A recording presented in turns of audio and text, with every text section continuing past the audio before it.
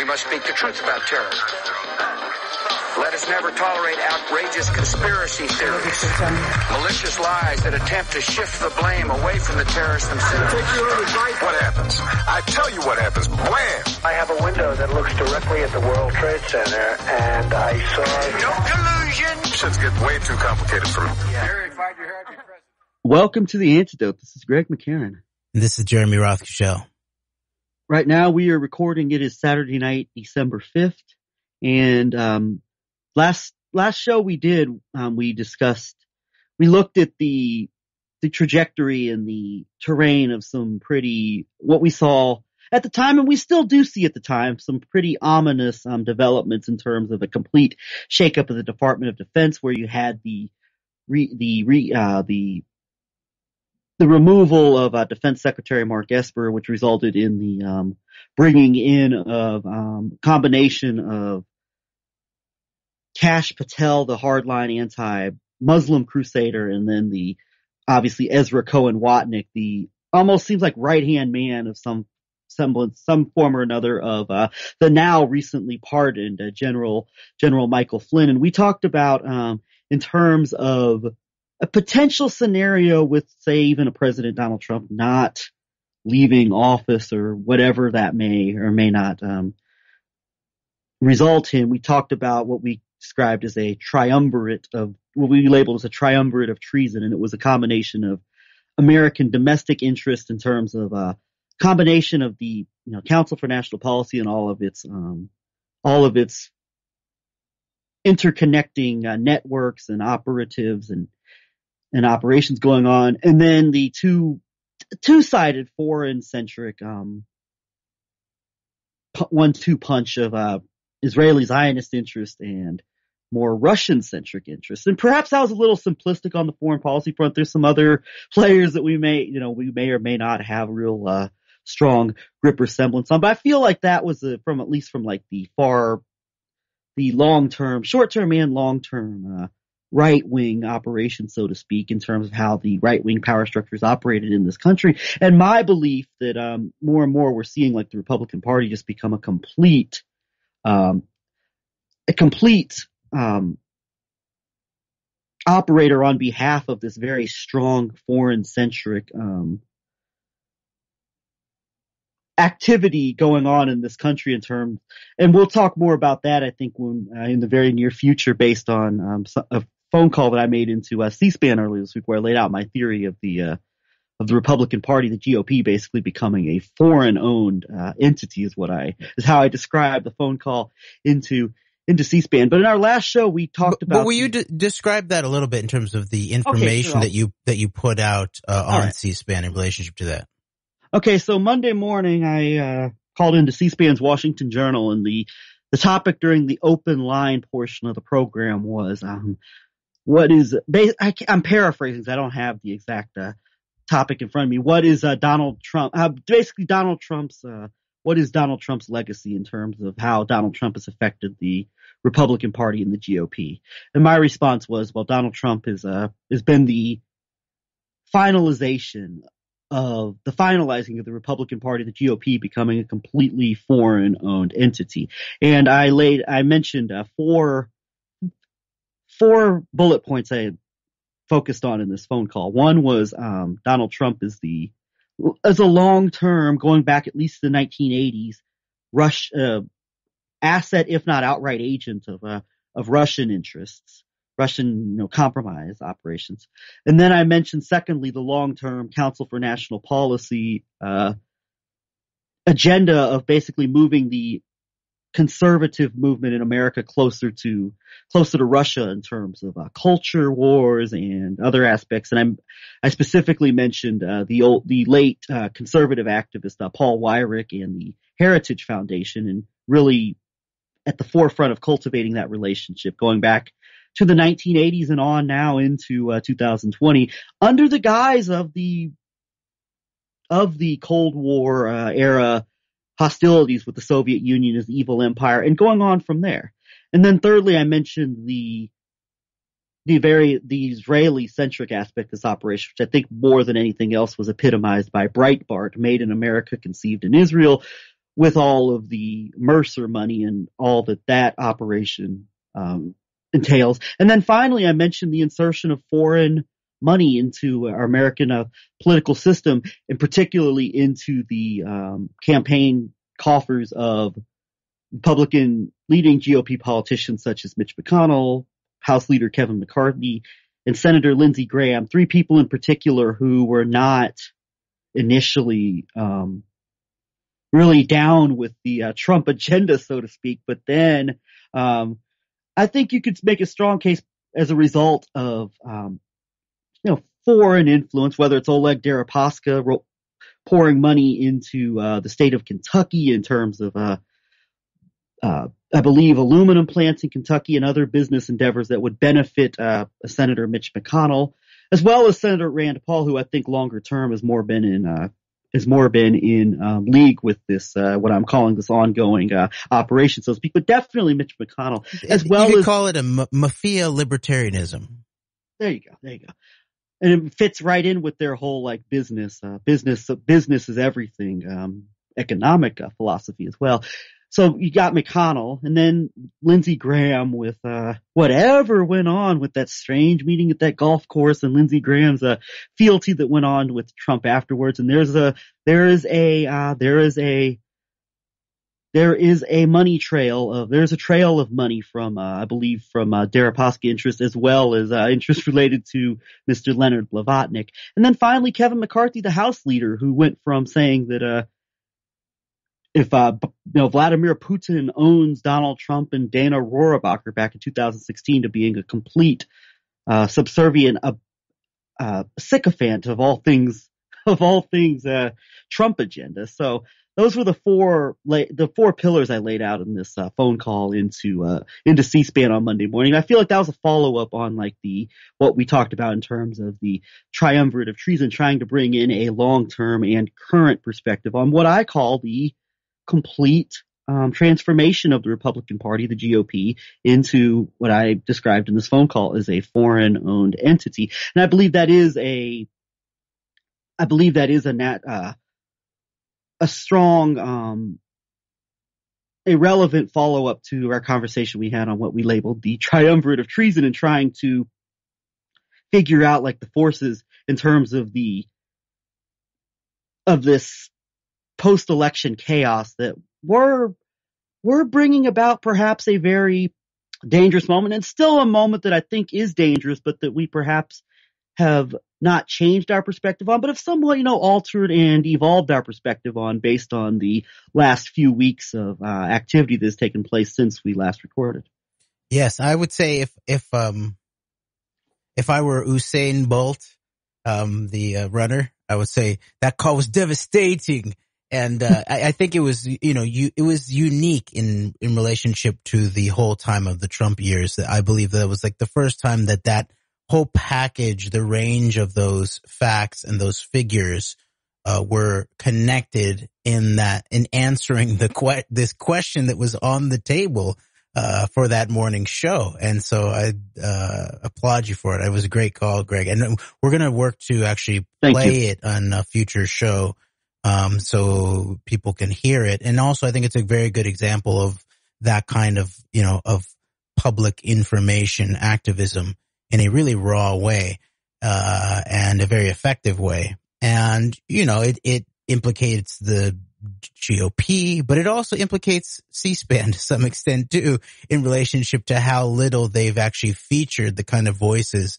that could have, uh, you know, they could have featured authors who could have put some of these pieces on the table. And to a large extent, they did not. And as we've always pointed out, we still appreciate that it's, it's one of the few, you know, public access, you know, mass public fora available to the American people to both understand what, you know, across the spectrum, what different people are thinking and feeling about things, but also to get your voice out there on key issues. And you can also, you know, you can either call in during the open phones as you did, which really gives you the open space to answer the question in your own way. Or you can also call in when there's like figures on there that you want to ask a question, confront, that kind of thing. I think you're right because, um, there could be some very, very serious, um, analysts and um, people who have done some very serious research in the long-term trajectory of the right-wing conservative movement in this country, as well as the very real foreign and as laid out by people such as Seth Abramson global operation in terms of uh, the installation of uh, Donald Trump as our president. And you know, maybe C-SPAN could feature more of those people rather than pussyfooting around with the likes of Ken Blackwell and uh, Tom Fitton in the future. But I'm not saying they will, but that would be like you know, if the, the C-SPAN were like a serious um, purveyor of truth in this generation. Although I do, I do second your um, your your assessment that uh, the C-SPAN does provide a great service, and one way it does is that it gives us gives you more of a perspective on what actual Americans feel and believe about the issues of our time than you get pretty much in any other, I would say, mainstream uh, political quote news oriented media per se. But you know, there's still the glaring problem of C-SPAN has not been an accurate or um, anywhere near an adequate purveyor of actual serious um, what would pass for truth in this in this current moment, and pretty much since its uh, conception with the uh, rise of uh, the rise of uh, cable television to a mass audience. Yes, and you know, I mean, you also like pointed out to me how it's also very rich resource in terms of their entire um, archives of all of the videos that are there where it's one of the few places you can find like the raw footage of the think tanks talking to each other. You know, like for example, even that, that infamous Patrick, Patrick Clawson, WINEP, uh, you know, how are we going to get an American president to war with Iran during Obama with Dennis Ross sitting on that same panel and, um, and maybe, uh, I don't know. I, can't remember who the president of WINEP is. That comes out of C-SPAN covering it, and it's all on the archives there. And you know, people like even like people like who docu- do documentaries about neocons, like like Robbie Martin. You know, the, a strong piece of oh, you know a large portion of the raw footage to create documentaries like that comes from C-SPAN. So you know, we we are uh, critic. Cri- we have critical applause for uh, C-SPAN. And, uh, but most importantly, we encourage folks to, uh, use C-SPAN, both the airwaves, the archives, all of that. So, oh, and Greg, let's dip, let's dip back into Blavatnik really quickly because I think he's a, a, a crucial figure in the, the potential close of the Trump era. And although maybe we should talk a little bit more, we'll continue to dig a little bit deeper into the moment, what's still the threats going on right now in terms of you know, all the generals calling for mass sedition and martial law and the overthrow of the regular format of the U.S. government and all of that.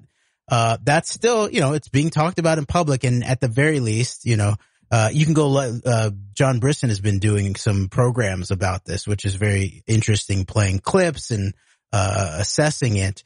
And, you know, one of the things that we talk about is like how Greg, you and me, where we do have a certain, maybe an attachment, but a focus on rules and norms that rules and norms are not just important be, for themselves, you know, just as, just as form per se, but they also are related to the possibility of the question of creating or resurrecting the concept of rule of law uh, at some level. And so there is a sort of chaos, there's a chaos warfare, a destabilization operation that goes on just by the utterance of these high level, you know, Thomas McInerney's, Michael Flynn types. Michael Flynn, head of the Defense Intelligence Agency, formerly. I think it's the biggest intelligence uh, agency in the U.S. government, I believe, actually, I'm almost positive.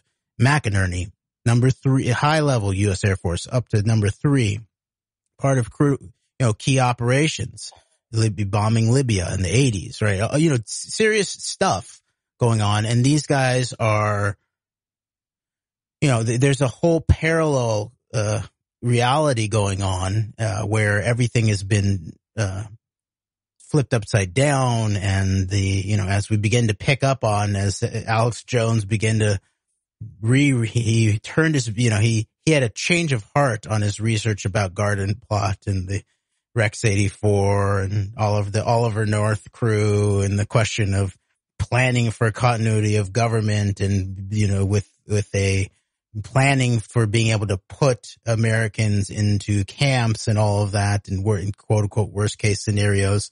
And then halfway through the Trump regime, first four years, maybe last four years, uh, it had a change of heart and was like, no, this is, I, I misunderstood this the whole time. This was, you know, this was, this was the anti-communist, the anti-globalists who were trying to, art, you know, architect a way to be able to deal with, you know, if the Chinese were to one of these days to cross the Rio Grande like uh like Project Veritas founder with a you know and attack the United States like I've been threatening for every single you know year for years.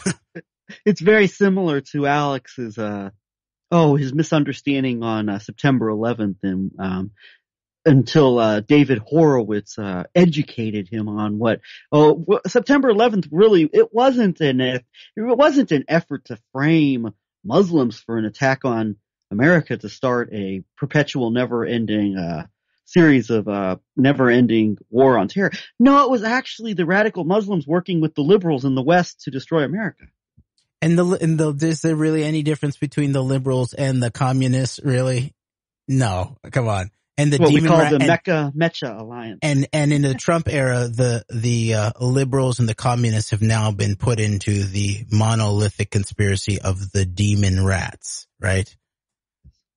although the people, although as we're seeing with this most recent uh, uproar over um, over prominent Republicans uh, criticizing uh, the super patriot MAGA attorney uh, Lin Wood down in Georgia for saying Republicans shouldn't vote in the Georgia primary, then you can very quickly see uh, even you know the Newt Gingriches and the Breitbarts of the world become uh, demon rat enablers, even though they've done everything in their power to uh, obviously be the leading way in terms of like you know, defending and shilling for all things Trump. So it, you know, that's a, that's a bit of a, it's a bit of a digression, but it fits into this whole narrative of like where anybody who is like seen as a, uh, is seen as even slightly opposed to like dear cult leader, chairman, daddy Trump in any way, shape or form becomes like a demon rat enabler. But Well, let's let's let's. Will you put on the table the that that story of Blavatnik yes, I in will. 2019? It's from 2019, right? Yes, because um, I was uh, I was alerted to this. Um, we, I was listening to the uh, Sarah Kendzior on the podcast um, Gaslit Nation, which um, you know our listeners, I'm sure a lot of our listeners would not agree with um, everything stated on, on that program, but uh, in terms of their their own personal political um, ideologies and their worldviews. But it's been a very, I would say, Gaslit Nation, Sarah Kendzior in particular, along with the co-host uh, Andrea Chalupa, has been an extremely valuable and I believe prescient observer of the current situation and just the dangers of like particularly this Trump operation actually poses dom- domestically as well as globally. The domestic threat, I think, that really becomes out of uh, out of this. So I think that that podcast I would recommend for people is a as a great source of like a, a prescient analysis of like the actual dangers of the moment we're facing from a I would say from a bigger picture perspective in terms of like actual things that we could only imagine coming to America in the past actually becoming a reality. The things that you only hear about like in the worst of uh you know third world banana republics, so to speak. And so anyway, I was alerted to this that um I knew we we had touched on um we had touched on the article the work that came out of uh, from the uh, from the website Bellingcat in October of uh, of 2019. U.S. politicians can't stop taking Len Blavatnik's money, which is a deep dive. By by the way, the journal is titled the author of this article is a journalist by the name of Casey Michael, M-I-C-H-E-L is his last name. Might be Michelle. I'm, I'm not sure I'm pronouncing it right. But anyway, his uh, Twitter handle is at CJC. I'm going to say Michelle here. Um, I Casey Michelle right. Yeah. anyway, um, this article from October 2019, and we've touched on it here, and I believe we touched on a, I believe we touched on an Allison Weir article, which I kind of followed up on this information about Blavatnik actually from, uh, the great, the great activist, uh, Allison Weir, and we can look back through and provide the uh, links to these articles in our show notes that we'll bring, that we'll place and post when we, uh, when we post this program onto our platforms. But anyway, this article gets, it's a very in-depth article of, uh, financial um, contributions from uh, Leonard Blavatnik to both Republicans and Democrats. On one hand, Kevin McCarthy's Victory Fund is mentioned, but at the same time, uh, many many donations to uh, leading to leading Democrats is mentioned. Uh, particularly mentions a one hundred and twenty four thousand two hundred and fifty dollar donation that was given from uh, Blavatnik and his wife Emily to the Democratic Congressional Campaign Committee, DCCC. Not only was it the second largest single donation Blavatnik has ever made to a U.S. politician or committee, but with combined with his wife's donation, it totaled as much as any other individual donation that DCCC has ever received in its entire history. And this becomes very interesting because as uh, the aforementioned Sarah Kendzior was pointing out, in her pod, most recent podcast on Gaslit Nation, uh, there was a serious, very um, d- Democrats in Congress, led by, uh, it appears, a California Congresswoman Jackie Speier, Spear, Speier, Spear, were- maybe. it's Jackie Spear. Okay, Jackie Spear was uh very was making a, was very vocal about investigating uh, Leonard Blavatnik's business dealings, and uh, particularly as it relates to um, Leonard Blavatnik and mob activity in um, in in some in many of its actions going on uh, domestically and uh, and globally, in turn, particularly uh, to tie the investigation into uh, Steven Mnuchin, Treasury Secretary, and his ties to Deripaska and Blavatnik, and how really tying back the um, the the sudden um, the sudden the fact that this investigation never went anywhere, and linking that to uh, Blavatnik's record-breaking donation to the uh, Democratic the, DCCC back in uh, June of 2019. So this is something we understood, like the we figured out like the significance of this article in terms of the Blavatnik donations to uh, both Republicans and Democrats. But I believe this is a piece that we didn't uh, we didn't pick up on, particularly at the time, was this particular donation coming in as it appeared that there was at least noise of a serious um, inquiry into the activities of uh, Leonard Blavatnik and Oleg Deripaska by prominent uh, Democratic member of the House of Representatives. Yes, and there, there, the article that you mentioned by Allison Weir, which was uh, just a little bit after uh, that article that you referenced, um, it was actually November 24th, 2019, titled World Jewish Congress Billionaires, Oligarchs, Global Influencers for Israel. And she goes through a whole bunch of stuff, uh, activity going on at the World Jewish Congress and, uh, and touches on a, a lot of these characters, including, um, Blavatnik. And, uh, at the, about the same time as that, um, Casey Michelle article that you referenced, there's also a Mother Jones article by Dan Friedman titled A Soviet born billionaire is buying influence at U.S. institutions. Anti-corruption activists are worried. The Council on Foreign Relations is under fire for accepting Len Blavatnik's gifts thanks to his tie to Russian, to oligarchs and Russian corruption. And, you know, re- there's a reminder too that Blavatnik is heavily tied in. He, he was, he was, uh, named as, you know, on the periphery of the Netanyahu corruption investigation, I believe. Um, and he is very tied in to Chabad networks and, uh, and Israel too. And there was, it's interesting, like over the course of the years of the, of the Trump regime, we've, we've continually touched on Blavatnik at different points. We first began to, uh, talk about him in that first year where we were assessing the Mnuchin entrance into uh, Treasury and the sales of Mnuchin's uh, company, Dune, and how how Blavatnik was taking his company's called Access, I think it's called Access Industries, and he's come, you know, for a lot like a lot of these, uh, you know, former Soviet sphere oligarchs that we've been tracing and that are so tied in to this 11-9 investigation and Trump, you know, who, who facilitated Trump and why.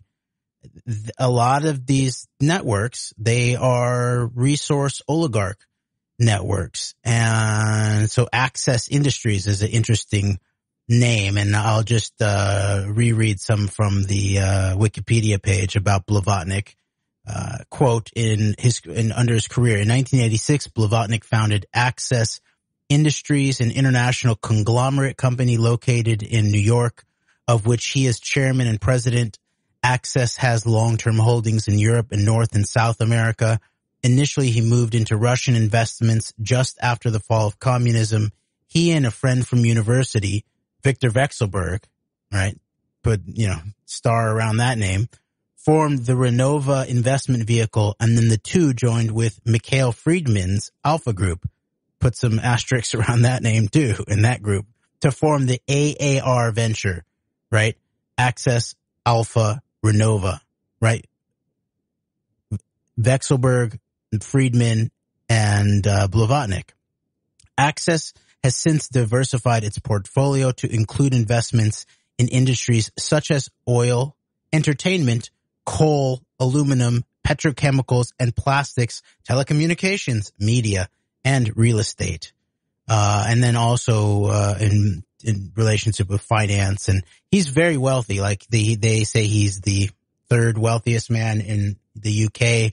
Um, but they say he's worth twenty six point six billion dollars, and he so he bought in to uh, you know Hollywood Holdings that Mnuchin was on his way out from in order to join uh, the Trump administration, and so there's the, the, he's a key, key figure, and and um, so the, and then the, this another story from that first year that we were looking at when we were investigating Blavatnik, which is very much related to what you just pointed out about this much more recent turn back to the Democrats to potentially paying off the Democrats politically, really, it looks like, to drop investigations. And he, there's been lots of stories. You can go research it, but lots of stories about how sensitive he and his PR people are to being talked about in the press in a certain way. They will not grant, they grant interviews unless there's a guarantee that he won't be called an oligarch. He's very sensitive about that word. Uh, and, uh, and of course, this relationship with Vekselberg going way back, there's a scene of them on a roof top, I believe, in maybe in New York or something like that, talking about the future. So they're, they're close, you know, and they go way back and they, they come out of these, uh, aluminum wars, uh, which is, you know, there's not a lot of talk of the, you know, deep state, the black economy, the mob aspect here publicly. But this whole net, you know, this is that network that is, that there is the global, the laundering, there's the intersection, right, of business that is done in a lawful fashion. Uh, that includes the raping and pillaging of resources. Obviously, it's legal, uh, but it's also, as we know from the background of the the Semyon Mogilevich and his relationship with Robert Maxwell, and Maxwell has having apparently taught Mogilevich the the global finance appropriate methods to setting up financial instruments that can work to launder vast amounts of money all around the world. Right. And so th- this is the intersection of what we might call the, the Russian sphere deep state, uh, the connection and, you know, to update the, what I've been harping on for the, all these Trump years about let's, let's, you know, especially during the continuing abuse of the term deep state, let's get the concept proper. Let's not just give it up to, uh, QAnon's late adoption of it, late abuse of it, basically. Let's bring it back to what it actually describes and, you know, its legacy in, in, uh, you know, thinkers like Peter Dale Scott but so we should update it to basically say it's the deep state is not only the intersection between the national security apparatus of any sphere or government or na- national government, including including mainly the covert operations, right? The where intelligence operations that are meant to be off book necessarily push towards uh, financing it off books also, which would include black economy, and then there's very quickly the justifications for then controlling aspects of black economics in terms of drug, drug flows, sex trafficking, and then how that then gets reincorporated, of course, into the, the usage of the these sort of covert security apparatuses in terms of blackmail, um, abilities to move money, uh, materials, material all around the world too. So there's that, the national, there's national security apparatus, but then as that whole you know, phrasing suggests in terms of thinking through how covert operations naturally lend itself towards an intersection with, with the, um, under, the underbelly of the economy, the, the criminal, uh, organized criminal aspect of the economy, then you then deal with that, the, the global organized crime aspect. And, and that is so well known, even like the, from the people like the Noam Chomsky's who like to use all of the chatter around something like the Kennedy assassination to poo poo it, be like, does it even matter if it was the mafia or a jilted lover, you know? And so that, that the whole surrounding of deep state actions or deep politics, events of deep, deep political events, state crimes against democracy, state crimes against minds, such as these assassinations, they're always surround, they're bathed basically. And in many ways, you could say they're even hung out in a in a, bla- a bad jacketed way, a dirtied up way in the realm of the the mafia, as Chomsky might call it, you know. And but that is not just a cover. That's also the, of course, you know, once you're dealing with high level uh, national security executive style actions, assassinations, false flag terrorism, you're dealing with immediately needing to have a a cutout, a limited cutout at the same time. Uh, I mean, a, uh, you know, a, uh, a cutout where you can have plausible deniability. So you have a layer of protection in, in terms of your own plausible deniability in, in relationship to a, uh, an actual government official's role in something like that. Think of like in an American context, obviously someone like James Angleton or George H.W. Bush or Dulles in relationship to something like the Kennedy assassination. Um, and then of course, then you bring in the, the mafia and they both supply the, the, you know, the, the many hands make light work aspect of deep state actions, but also the surrounding it with, uh, this is just the criminal underworld. And so I'd I like to add to those two pieces that have been harping on over and over again in terms of national security apparatus, uh, criminal underworld as the, the deep state exists in that, in that, in intersectionality there, that we should then add in the, obviously, this oligarchy, you know, oligarchs, right? And that's why it's so sensitive to someone like, uh, uh Blavatnik because part, and, and this is the same in an American sphere too, which you see most obviously in relationship to like with the super mob, the Jewish mob, the, you know, the, the few, the few neighborhoods in Chicago, for example, uh, in Gus Russo's book, Super Mob, where, you know, some, uh, Jewish immigrants from the Pale and Eastern Europe and Russia come to the United States in the 1800s largely. And you, you can sort of track like the big names that go through uh, organized crime and that whole 20th century uh, interesting first half story around the uh, um, the uh, criminal syndicate and, and Meyer Lansky, the relationship to then to uh, to the uh, Hoover and the FBI, the potential conjoinment with the Italian mob, right, and the and the mafia, the the Cosa Nostra, the Kosher Nostra, and the Cosa Nostra in in engagement. And then, especially with this super mob, uh, this really, uh, you know, it, intent, intergenerationally evolved, let's say, uh, the Jewish mob in the United States, uh, specifically in terms of th- that described in Gus Russo's book, uh, emanating, sort of organizing out of Chicago, you then begin to see, uh, in addition to intersections with other groups like the of whether they're called the the purple uh I forget the the purple gang, right? The sort of Detroit, think of like Ohio, Columbus, the intersection then up to uh to Canada and, and Montreal and Purple to, Gang would have been uh, Moe Dalitz, who was, uh, I believe, awarded the Anti Defamation League the Torch of Freedom. Isn't that right? Right, and so that's actually the perfect example of what then happens is that it's all then washed, right? The, the, the mob is then washed in the next generation into philanthropy and into awards by so-called credible institutions like the Anti-Defamation League.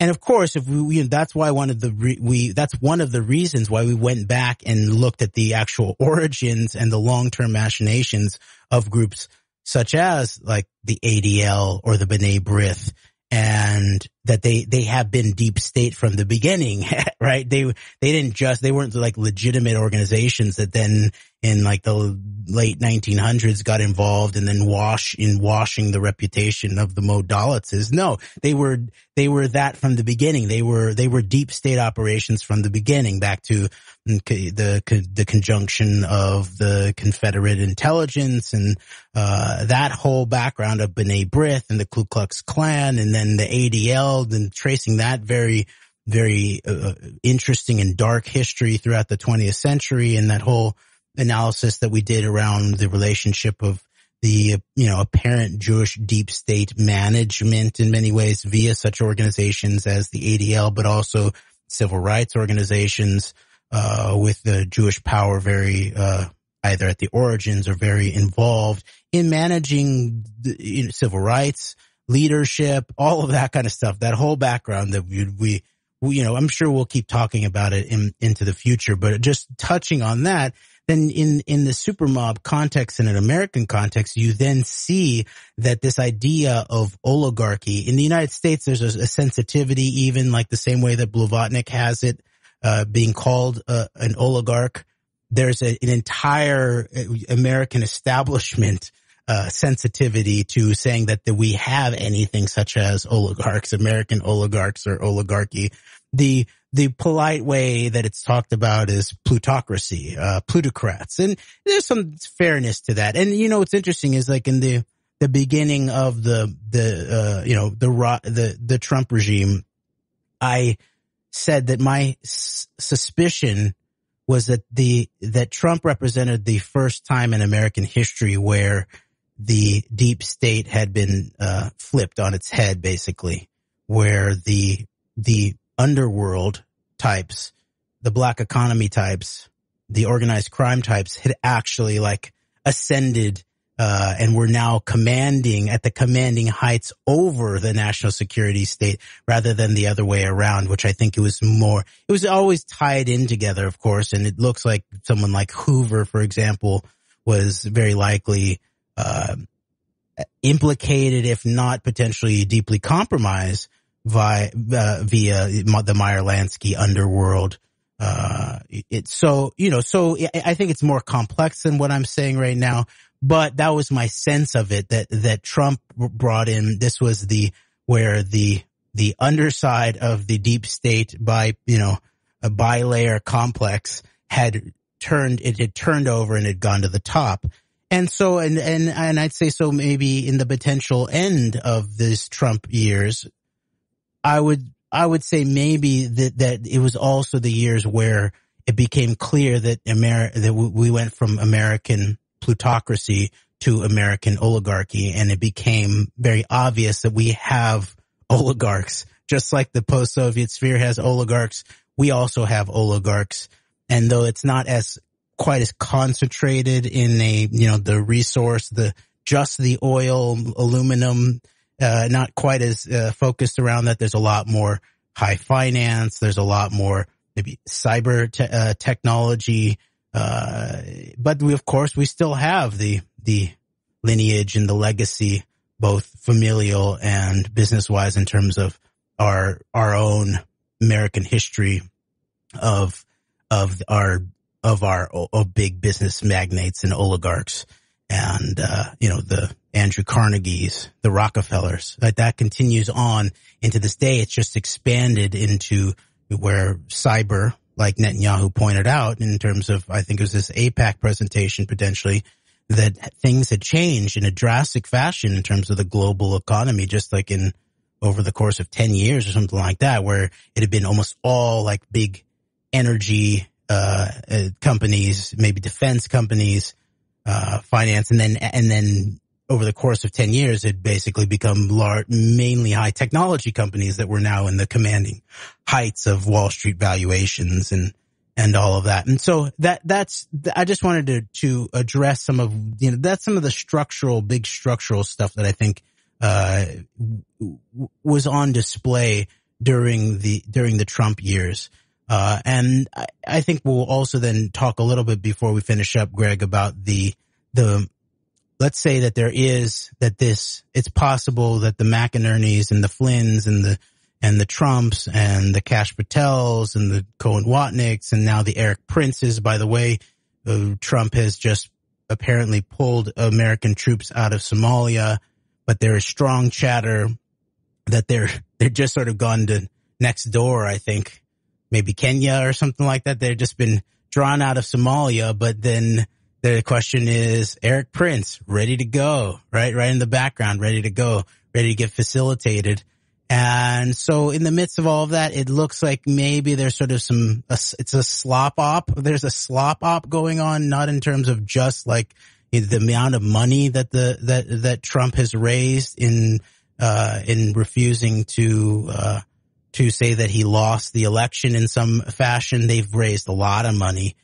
Uh, and so that's a sort of slop op potential, but there's also this other big slop op, like the international stuff around the weapons and what is going on. What are the deals that are going on in terms of all the activity of the Kushners and the Pompeos and, you know, the visiting of the settlements and the, all the uh, UAE and the Saudis and all of that, you know, and then add on top of that, there is obviously some black ops stuff going on too, when with the apparent Israeli escalation of the assassination of the Iranian nuclear scientist. Now there are, there's also chatter and video that, that there is an, I'm not I haven't checked this. I don't know if this has been confirmed and it's interesting. It has not gotten any real mainstream coverage that, that an apparent Mossad commander was uh, assassinated on the streets of Tel Aviv.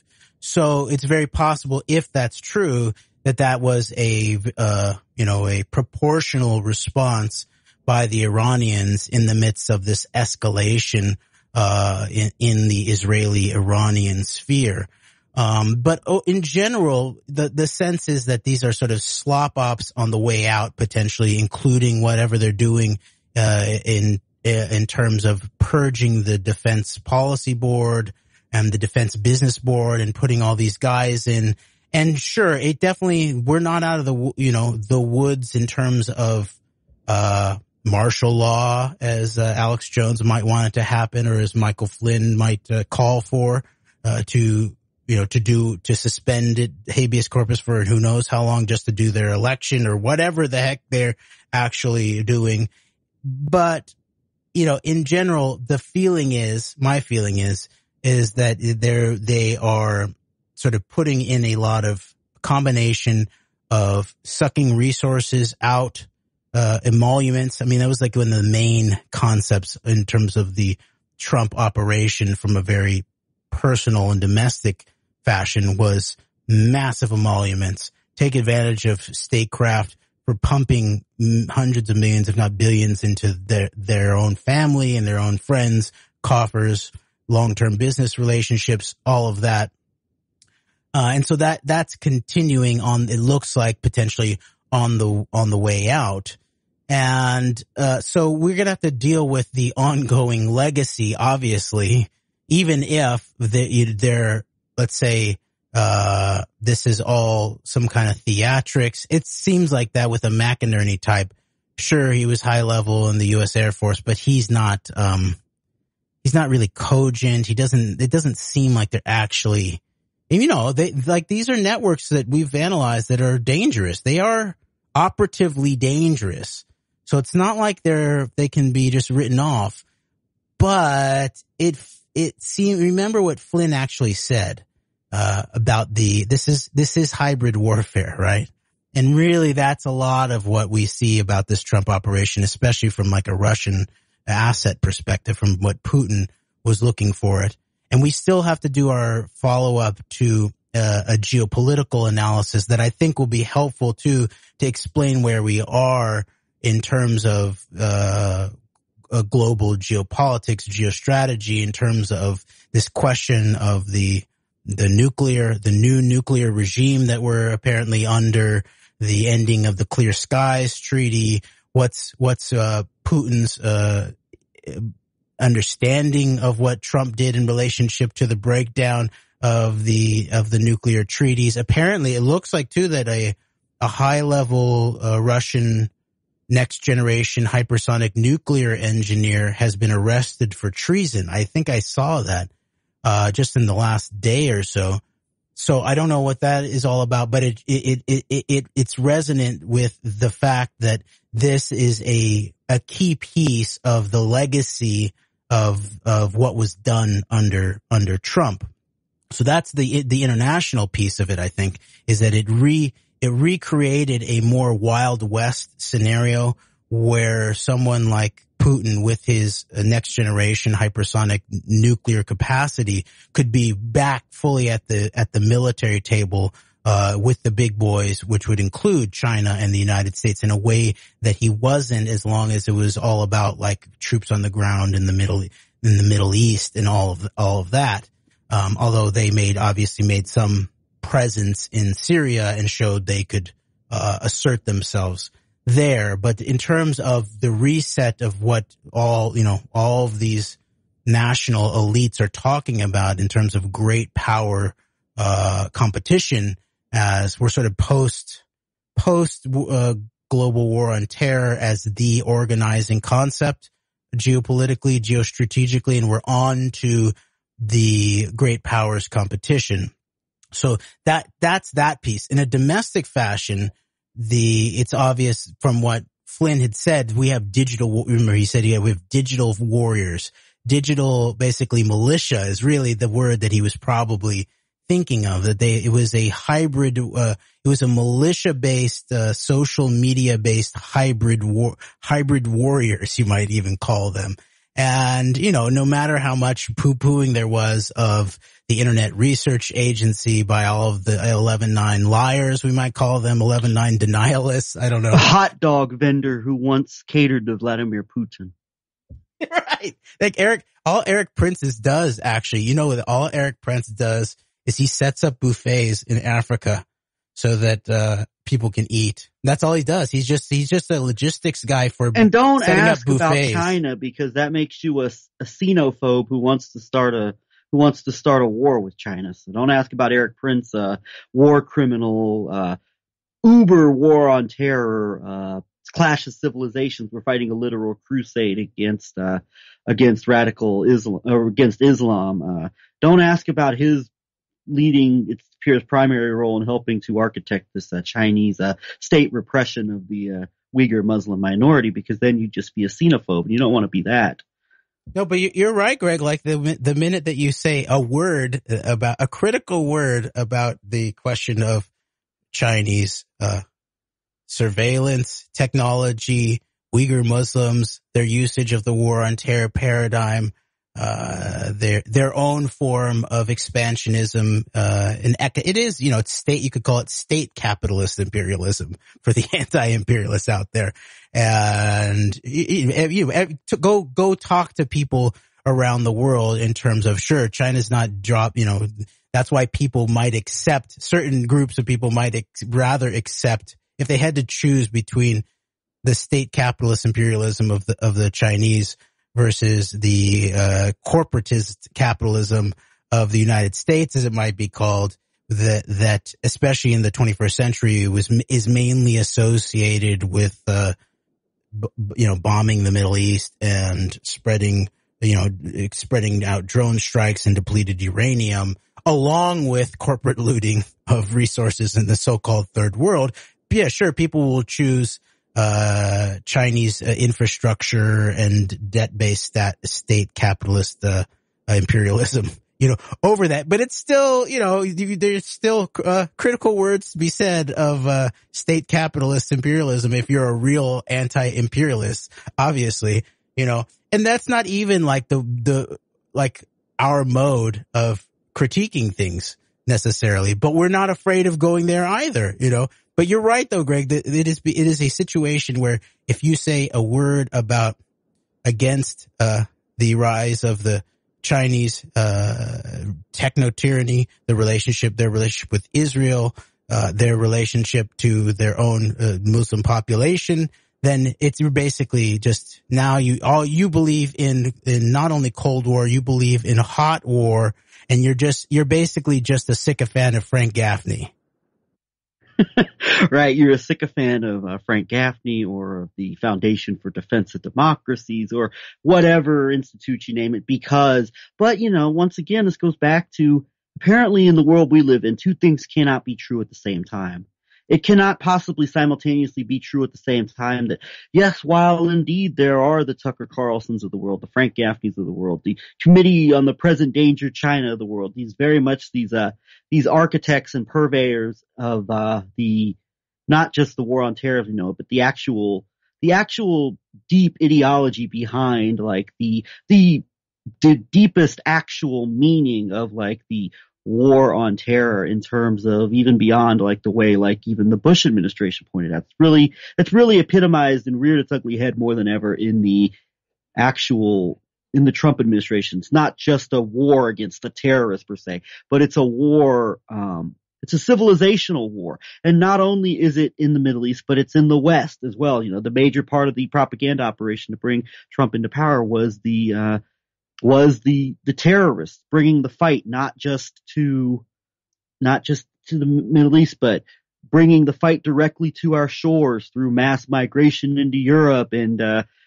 the San Bernardino attack and the Orlando attack, and the idea that this is not just a war on terror, so to speak, but it's an actual civilizational warfare. And we're not only at war with uh, radical Islam, so to speak, but we're at war with um, the the liberal institutions of the West. We talked about what we went back to earlier. Is there any real distinction between a liberal and a communist, right? You know, so it's the actual, like from a global perspective, the actual epitomization of the, the, of the worst of the ideology of the actual meaning of like this war on terror from the worst uh, purveyors and architects of it. Just because they're, you know, just because they're pushing this China threat in a very, very disingenuous, very uh, dishonest manner that is designed to see to get Americans to view China as their enemy in terms of this artificial, largely fake reliving of the uh, Cold War era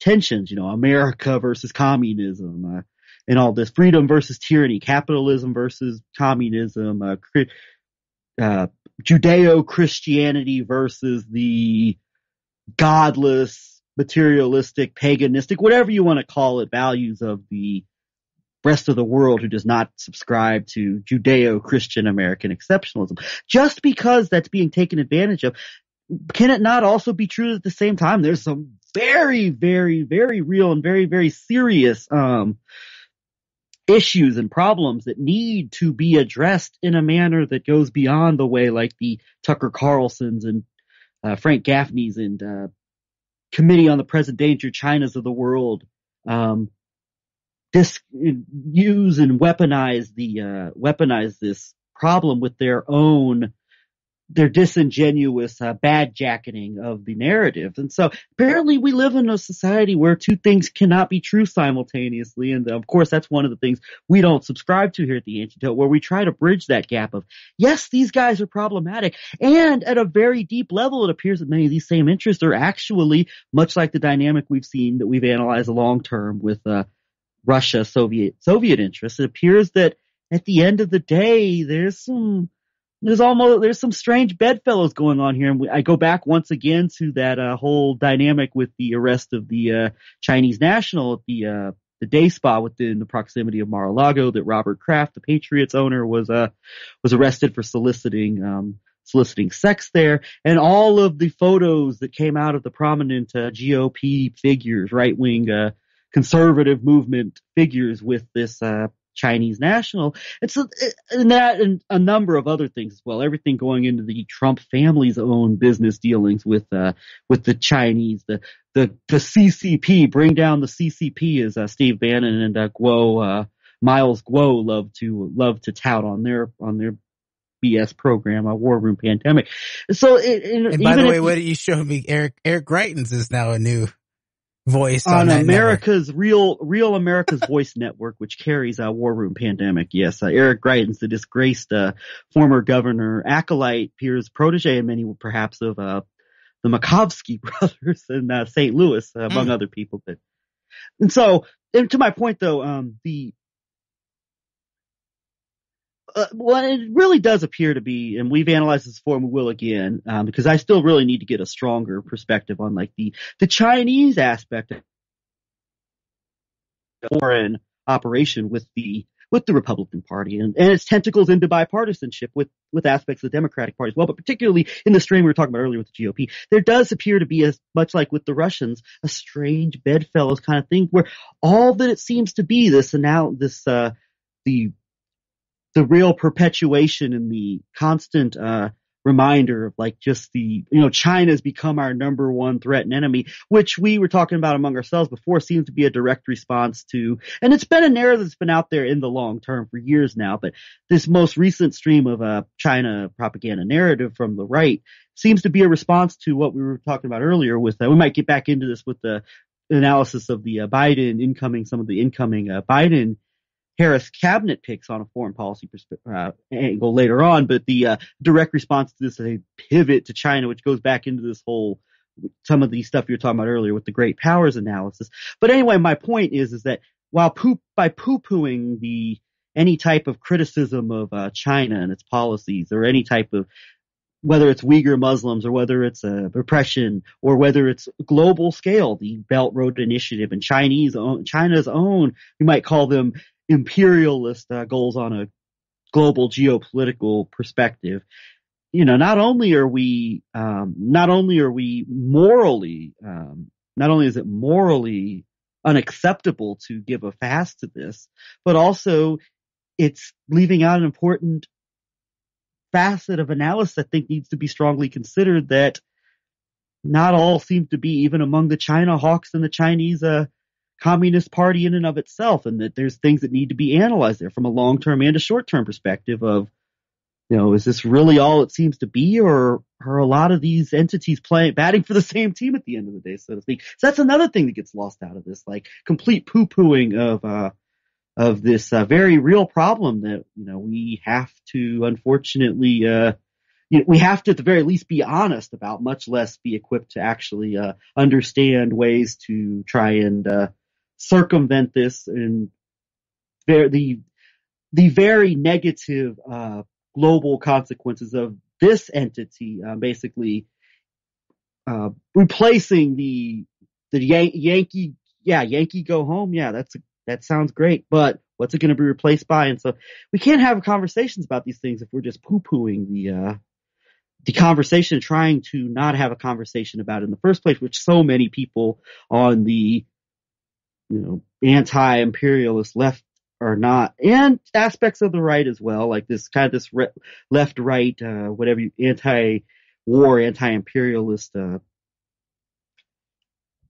uh, perspective, do not want to have a conversation. anti-regime change war TM and anti-new Cold War TM, basically, uh, where it's not really thought process, it's reactionary horseshoe dynamics that don't really address and break down the what, I would call, you know, and this could be understood from a left perspective, superstructures. Understand, you know, the, dig into the superstructures because once you get into superstructure, you're getting way beyond any kind of thing of the sort of imperialist pole, uh, the imperialist, you know, axis of the world, and then the the anti-imperialist pole or axis. No, and and this is one of the things that we we've been working to unpack is that to understand the Cold War properly, you have to un, you have to understand the actual superstructure as a a put an undermining of of actual uh, international diplom- real international diplomatic relations, such as what was beginning to head in the, that direction in relationship to, you know, people like maybe Kennedy and Khrushchev and where the, the so-called hawks surrounding them seem to have intervened in different ways, potentially, uh, maybe very physically. But the main thing was that they, as, as they're apparently hawks, what they're not, they're, they're really doves to conflict or they're, they're doves to the perception of conflict to keep the conflict going so that it escalates all of the usual suspect types, you know, from the military industrial complex, but also the things that are really coming into focus right now, which have to do with surveillance powers, uh, biotyranny, technology. What is the end point? What is the purpose and the end point of, of, of cyber technology itself? Who's in control of it? Whose purposes are being served by it? Right. And so then in an American context, you're right into the realm of the question of the Constitution, the struggle over the, the, the who's, who does the Republic belong to? Does it belong uh, uh, from the get go to a, a, a, a, a landed elite or does it really belong to we the people, all of us, even if it's going to take a long time for all of us to claim our right to be at the table?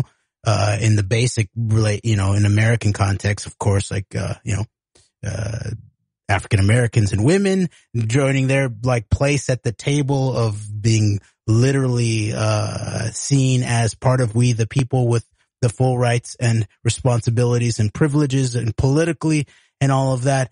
And so that is where the struggle is, I think, in relationship to really unpacking and de- and de- deconstructing these very toxic, very dangerous, very tyrannical superstructures that that are are related and engendered by things that we could understand in terms of international, you know, affairs or nationalism or countries or governments and things like that. But there's something going on beyond that where the apparent standoffs between the hawks is somehow facilitating some greater superstructural plan. And of course, in the mix of all that, this is one of the other reasons why we work to unpack some espionage history too, or deep, deep event and deep state history from during the Cold War, such as these really, you know, even the, the Kennedy assassination, like we talked about, and we we sort of avoided we avoided touching on it during this uh, anniversary. We just felt like it was not quite immediately as relevant as uh, it needed to be to uh, get our butts in gear to reassess the Kennedy assassination. But it still really is important in terms of understanding the dynamic, the espionage dynamics, because it is in the espionage dynamics that you can read the superstructural interests, the superstructural motives, uh, the transnational motives in such events, right? The looking at people such as James Angleton and this still un, not quite yet developed answer to what role did he play in relationship not only to Israel, but in relationship to the backdoor aspects of the Cold War and the Soviet U.S. dynamics and that whole axis from his buddy Kim Philby in the near the city of London, um, both a Zionist agent and a Soviet agent, but then bring in someone like Victor Rothschild, who is the missing character in that circle who then really brings in the this further longer term strong tie from Israel up through the city of London and then back out to the Soviet Union. And I just want to point out in, in sort of closing this thought about the dangers of what you are pointing out, Greg, in terms of people uh, shirking the duty to be honest about the totality of the international facts uh, which includes, you know, talking about China too, or, you know, that Victor Rothschild, the very interesting and very dark background there is not just that he was a Soviet spy, apparently, along with being a, a, a Zionist and Israeli spy of some sort, including like helping set up like the modern incarnation of the Weizmann Institute with Weizmann himself, and which is at the epicenter of the, uh, you know, the what the this deep science behind Israel's modern weaponry and nuclear program over the longer term, and then ultimately up into the age of uh, bio and cyber and all of that. But I just want to point out that Victor Rothschild also in a in a UK context, he was not only crucial to these some of these questions about, of course, the high level Ted Heath, uh, prime minister associated apparently um, child sex ring, pedophile, uh, leverage ops, blackmail operations. Look into that background there. Uh, at, but also he helped set up some of the, I believe maybe the first biotechnology investment, uh, structure company, uh, financial instrument in the world, I think. And one of the things that he did for the Soviets was he was deeply involved in the UK bioweapons lab, the Porton Downs, for decades, really, and apparently, you know, porting out information back to the Soviet sphere. Um, and so I guess the thought that I had was that the danger of, uh, being uh, risk averse to dealing with China, for example, is that in a similar fashion to where the the sort of silent Democrats, the silent progressives, basically ceded the election fraud landscape to the Sidney Powell Krakens and the Michael Flynn's and the the McInerney crazy types, you know, basically spinning narrative, just tales and like you pointed out, Roger Stone and the North Korean ballots and all of that, rather than the much more sober analysis of who did what in 2004 example. What's the nature of these machine rigging? Is it all about dominion and connections to Hugo Chavez's a hungry ghost uh, coming in to eat your ballots, or is it that all a misdirection? Very likely from w- what are the predominant? I you know this on Friday I called uh, the Idaho uh, one of the biggest uh, you know shifts uh, from 2016 to 2020 in terms of an advantage to Trump was the ton of these southern Texas districts, all, and Texas basically is all uh, ES&S and Hart Intercivic and then another one outlying one in terms of these counties around the country, the, you know, top 10 in the last maybe 20 years in terms of a shift, uh, from, from one election to the next was a county in Idaho and uh, I called them up and it's ES&S systems there too. And Idaho is actually very similar to Texas where it's basically split it looks like and uh, they haven't published it all on the internet and but I the, the someone at the Secretary of State's office in Idaho gave me the uh the list of all the numbers of the county election supervisors so, but he says that they're basically Hart, Intercivic, and ES&S. So my point is instead of that uh, being front and center, that it's very likely actually that people like Lindsey Graham or, you know, or, you know, someone in that realm, Susan Collins maybe, that there is a Senate operation going on and there was very likely a Trump operation in the opposite direction.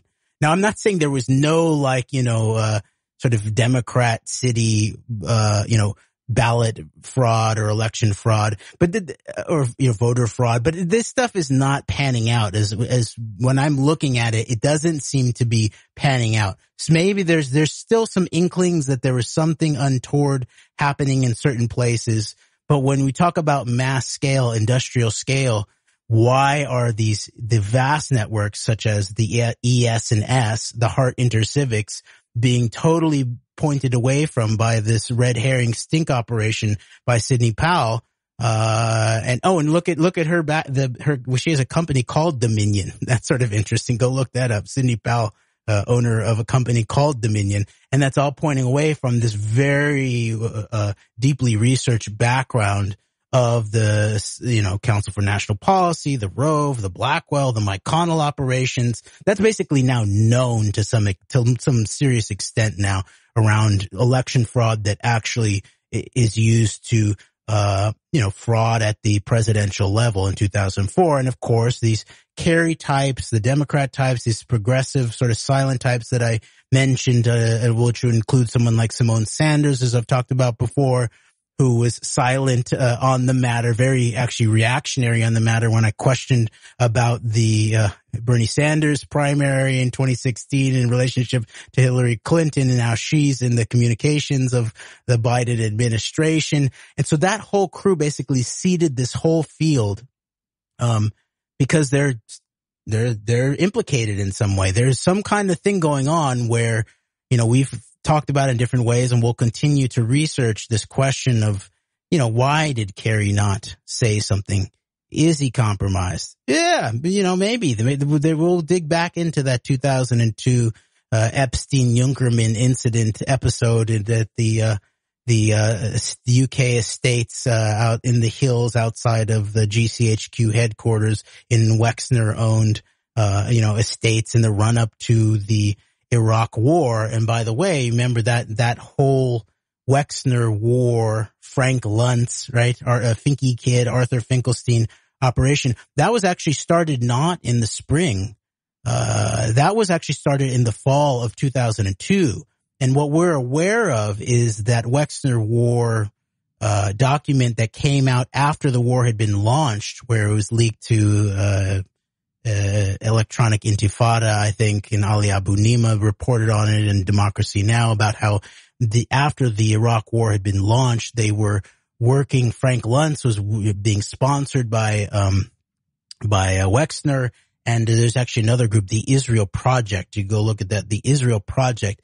But they were uh, working to figure out how to message. I.e., Frank Luntz is just a pollster. He's a, just a pollster. No, he's a PR guru. He's a messaging guru. They were studying how are you going to message.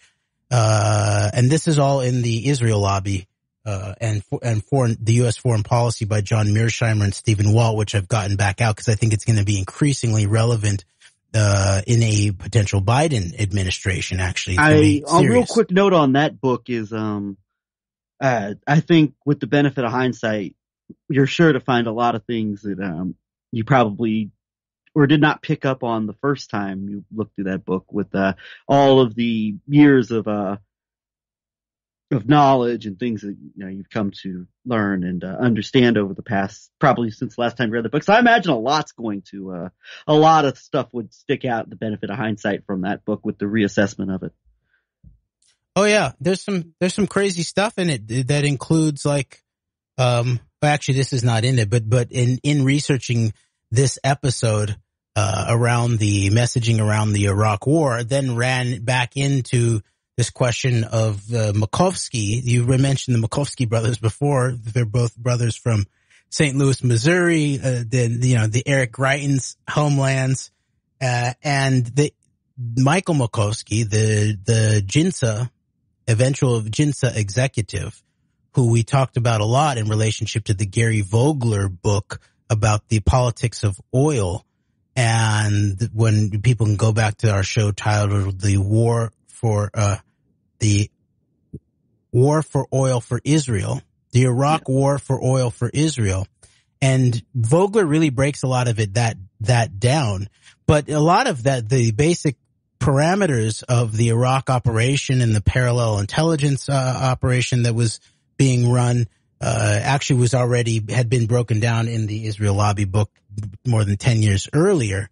Um, but Makovsky playing this key role in the the oil, uh, the coalition provisional authority in Iraq in managing an oil operation, and uh, and what Vogler lays out, and he was very close to this. All of this was that this was being done via, for Israeli partisan reasons. The, even the oil aspect of the Iraq war, which the Israel lobby book points out that, which took a much deeper back seat, including the whole Halliburton or the military contractor, military industrial complex uh, motive is way, way back seat. Maybe not even like the oil motive in that context is actually might be non-existent in relationship to the Israel lobby motive or the Likud lobby motive. Uh, and Makovsky is a interesting character because he he, I think he takes off after high school in America and goes directly to Israel. He works with Shimon Peres.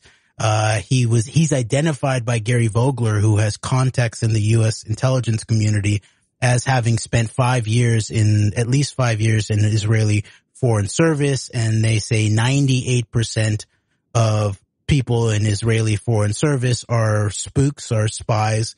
Thus, they, they, the assertion from Gary Vogler's contacts in the U.S. intelligence community is that Michael Makovsky is a credibly accused Israeli agent of some sort, and he was put in the at the head of the alleged U.S. Pentagon uh, oil management during the Iraq Iraq War. But it turns out that Makovsky, while he was in Israel, he was a but he was a, apparently a buddy. He lived in a in a West Bank settlement, and he was a apparently a close friend with the uh, accused assassin of uh, of uh, Steve Pieczenik's target, Rabin, right, Yes. Greg? Indeed, yes, yes, indeed. And so I just in in finishing up closing the loop of the question of the marketing of the Iraq war that the the Israel project I think that's what it's called go look at it it just got shut down in recent years and it really sort of flew under the radar. Um but what's very interesting is the you remember the the woman who asked the question right after me Greg when Dennis Ross is you know get getting off on seeing a self-identified Jewish American man getting hauled out by uh, Israeli trained, Israeli partisan paid uh, Homeland Security Fusion Center associated detective and private security contractor for asking for be asking an argument, engaging in argumentative discourse, uh, citizens, aggressive citizens press, you know, things that are totally protected, the most protected under the First Amendment. Dennis, while Dennis Ross was like getting off on that, and I, my wife and I have looked at the video, and it almost looks like potentially Ross is like mouthing potentially like a, a Yiddish swear word to me or something like that when when he's looking at this all going on. And then and then he finally sort of realizes, oh, maybe I should you know continue with the questions. So he turns to the other side. And there's a woman on the other side at the at the microphone there, the first up on the other side of the microphone. Her name's Karen Pack and uh, she asked a question about then what can we do to combat, you know, the whole UN, the human rights, uh, and that whole agenda, right? Okay, uh, and that's while you know we're being forced out, ejected from this public forum uh, based on political viewpoint uh, discrimination, and then I and the librarian are arrested. We're charged for over a year.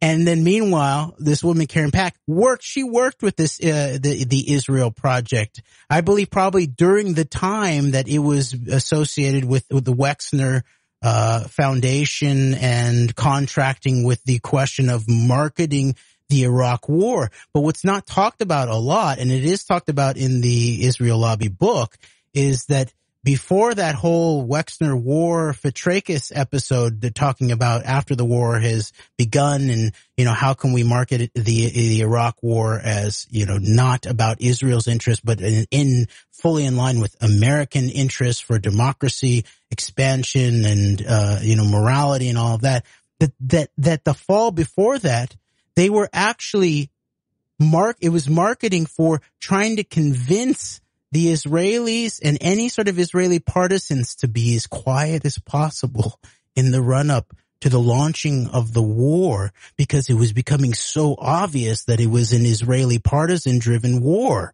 And it was basically an open secret in, in DC and in American elite circles. They, everybody knew it, right? And even there was a strong push and we'll return to all of this at another, at another time.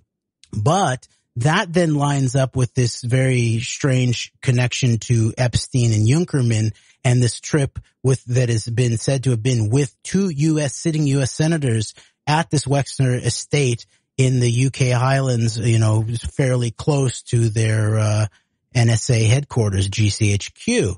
Uh, in in the run up to this uh, 2003 launching of the Iraq War, and just one last thing, and this maybe this is a little bit of a retrospective that we're doing, Greg, conceptually. You know, at the end of you know the antidote, we've been we've been uh, uh, largely we were we you founded us, Greg, before Trump came in, but we've been around this whole time, and we've been working on not only excavating facts that are crucial both in the in our contemporary moment but in history but also working on uh, evolving our analysis so that it can be more clarifying and more helpful towards what the heck is actually going on. And then as a precursor to then what then can we do or what do we want to do? What do we what do we propose as potentially an alternative which I imagine we, you know, will just, uh, you know, touch in as we finish up here, as we talk about who the potentially incoming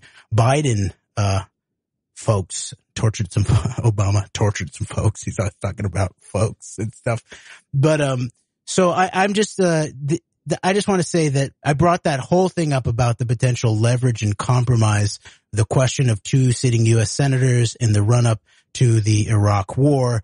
Go back and look at, at our, uh, episode that we did after we attended the documentary about and with Kath, it wasn't a documentary. It's actually a, a feature film, uh, about and with uh, Katharine Gun, the GCHQ key whistleblower in the run up to the Iraq war. And so this geography of Epstein and Junkermann, and by the way, Junkermann involved with the apparently last sort of largely invested Epstein company, uh, before the jail episode in August of 2019, uh, uh, Carbyne 911, 911 which is important because it seems very parallel to something like Palantir, which is front and center. There, you know, some of the incoming uh, uh officials in with Biden, including the new D, uh, national security advisor. Is she the national security advisor or the DNI, the director of national intelligence, uh, Avril Haines? I can't remember. Do you remember? Just Greg? a moment. Just a moment. Okay, a moment. that's okay. Um, but she worked with Palantir and there, and at the same time, if we're yeah, also, Avril Haines is, um, I believe the, uh, DNI. She would be replacing, uh, John Ratcliffe. rats off the cliff. So, so the rats are off the cliff, but meanwhile, then some more organized, competent, nicer types who are nicer when they cover up CIA torture and institute uh, legal architectures of drone strike programs and work with Palantir data military contractors, uh, are coming in. And so there's a whole nother dynamic here that needs to be looked at very, very specifically and in its own, uh, way. And so th- that, that question of the, of the compromise of the run up to the Iraq war, uh, it, I just wanted to complete the thought here. I'm sorry I'm so all over the place. I got a lot of, I feel like I have lo- like about 10, 10 mental tabs open right now that I'm trying to bring back around here. Still the same way all the time. okay. Okay. Well, the, well, I hope our audience will uh, forgive us, Greg. But the, my, my point back to your really important point about the dangers of not addressing China in a serious fashion is that it can lead not only to the question of China, but also it seeds the, the terrain just as the, these potentially compromised folks in the, in the terms of even someone up to John Kerry, who by the way is in the new Biden, uh, incoming Biden administration in terms of a new climate envoy to the UN. That wh- why were they the dogs who didn't bark on what even in this time of a potential election fraud and, and, you know, Nancy Pelosi sitting there she's totally exposed now. The emperor has no clothes. The mo- the uh, mob mayor's daughter has no political clothes. She did not uh, go. She did not empower the American people with quote unquote stimulus, i.e., our national inheritance in the midst of a ill likely. You know, it was probably the the COVID nineteen probably came from an American uh, lab of some sort, and this is all some kind of fallout that's hitting the Americans apparently the hardest in the world. And the leader so-called of the opposition party couldn't even get some basic funding to the American people. Dozens of millions who are, uh, who are, and have major food trouble, food shortages. Go look at the line, these massive lines, you know, of people who have fairly nice cars, like, you know, SUVs and nice uh, minivans and stuff like that. But millions and millions of Americans are now food insecure. Many of them for the very first time. We've had a food, you know, uh, a food and poverty and food insecurity. Uh, major mass crisis in the United States for a long time, but now that's escalating. And then you add that to the question of the economics and the rents coming due and evictions in the middle of the, whether it's the dark winter or the darkest winter, we don't know yet, but it's one of those, you know, it's being identified.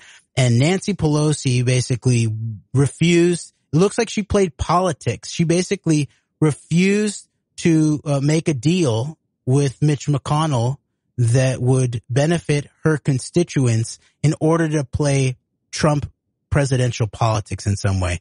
And now she's saying, well, we're going to make a deal. It's going to be half, half as good for the American people, but we have the presidency and we have the vaccines. And, uh, that's not going to do anything for the American people during the transition at the very least. And it's also not going to do anything for the American people over the course of this escalating, uh, you know, in terms of destruction, health destruction, and go just go, you know, anybody who's still like COVID quote unquote denialists, go go check in with the nursing community or the frontline healthcare workers in terms of what they are actually dealing with in the in the midst of like you know people who show up with COVID and they're still in denial that it's actually a thing because Donald Trump told them it didn't it was going to disappear someday and and they're they're dying of COVID while they're still in denial of COVID almost to some extent. You know, so Nancy Pelosi is totally, totally exposed now and she's submitting her constituents to the darkest winter. Nancy Pelosi voted and she voted for the darkest winter. And so that's going to be, have to be uh, uh, addressed. And so that whole crew basically when they don't deal with they seed the field of something like election fraud to yeah. to the Michael Flynn's and the Krakens. they are doing the same kind of thing that happens in relationship to seeding the whole field around China to the Frank Gaffneys. And then finally, my point is, and this connects back to COVID, that what happened was that instead of the deep investigation that should have been going on from day one. And that started to happen in certain spheres in terms of, you know, there was little bits, you know, fits and starts all around in terms of where did COVID come from? How, what is it? How did it, how was it, was it, was it a lab creation? And that all got totally devolved and uh, upended into anti-maskism yes. and COVID hoaxism, and that is uh, that is, and part of that I believe was the question of China because what happened is you had the Bannons basically and the Tom Cottons uh, putting the whole question of COVID as a bioweapon, let's say, or an engineered virus potentially, or being used as a weapon of some sort. And they put it all the way into Wuhan and China's hands. And so that basically dirtied that up and everybody just sort of it's, gave it up and uh, and then succumbed th- those that were in the spheres that originally had gotten to some of the core of this stuff for example even someone like Whitney Webb who wrote some of the most important early articles like in the early aspects of 2020 in terms of uh, bats virus engineering DARPA that kind of stuff. That was like right in the realm. And then over the course of the year, the, the, that kind of journalism was subsumed in many ways by the, the sort of COVID hoaxers and the anti-maskers and, it, and really irresponsibly so in terms of a lot of those kinds of spheres in terms of what we are actually seeing in an American context. And, and the racial aspect of this is very difficult to deny too, uh, in terms of the African Americans having been hit really super hard around something like and, uh, COVID. And that's really, that's really important. I think very, that's something people need to understand because my own perspective on this, and we really do need to go back and do a. I want to uh, before before too long, really go back and do a deep dive into uh, into COVID and the combination of like what we, how we, what we uh, perceive the reality of COVID to be combined with what we see as a very, it's very similar to other things that have gone on throughout the era of Trump and the era of, um, of the new media and this mass. Um, the COVID narrative, a lot of what we're seeing play out with the COVID narrative, everything from what you're talking about with the taking legitimate questions of bioweapon to, well, it's a hoax or, you know, no one's really dying or the masks is a, you know, wearing a mask in public is the new form of tyranny for the government to, you know, enslave us with or whatnot. And, um, we do need to go back and do a, and do a deep dive into combination of things regarding that and the propaganda networks that have uh, I think have taken advantage of all these varying narratives, everything from blame China, China, as Donald Trump would say, blame China, China, to blame blame China all the way to um, the oh it's a hoax, the masks of the new tyranny, and all of that. So I really want to go back to that. But what you're bringing up with the effect that this is having on particularly aspects of the you know non-European, non-Caucasian, white American population, particularly African American population. That's and like I'm coming to grips with my own realization that like the small the world I live in, Kansas City, Missouri, it's largely confined to family and say a few, you know, a few people who I'm close with outside of my immediate family. But it's a very small world I ultimately live in. As knowledgeable as I like to think I am in terms of like the the way the world, in terms of uh geopolitics, in terms of like having a strong, I believe, principled uh philosophy and outlook on the world and the events going on around us. I really do live in a very small world and it's confined to a very small group of people in my life.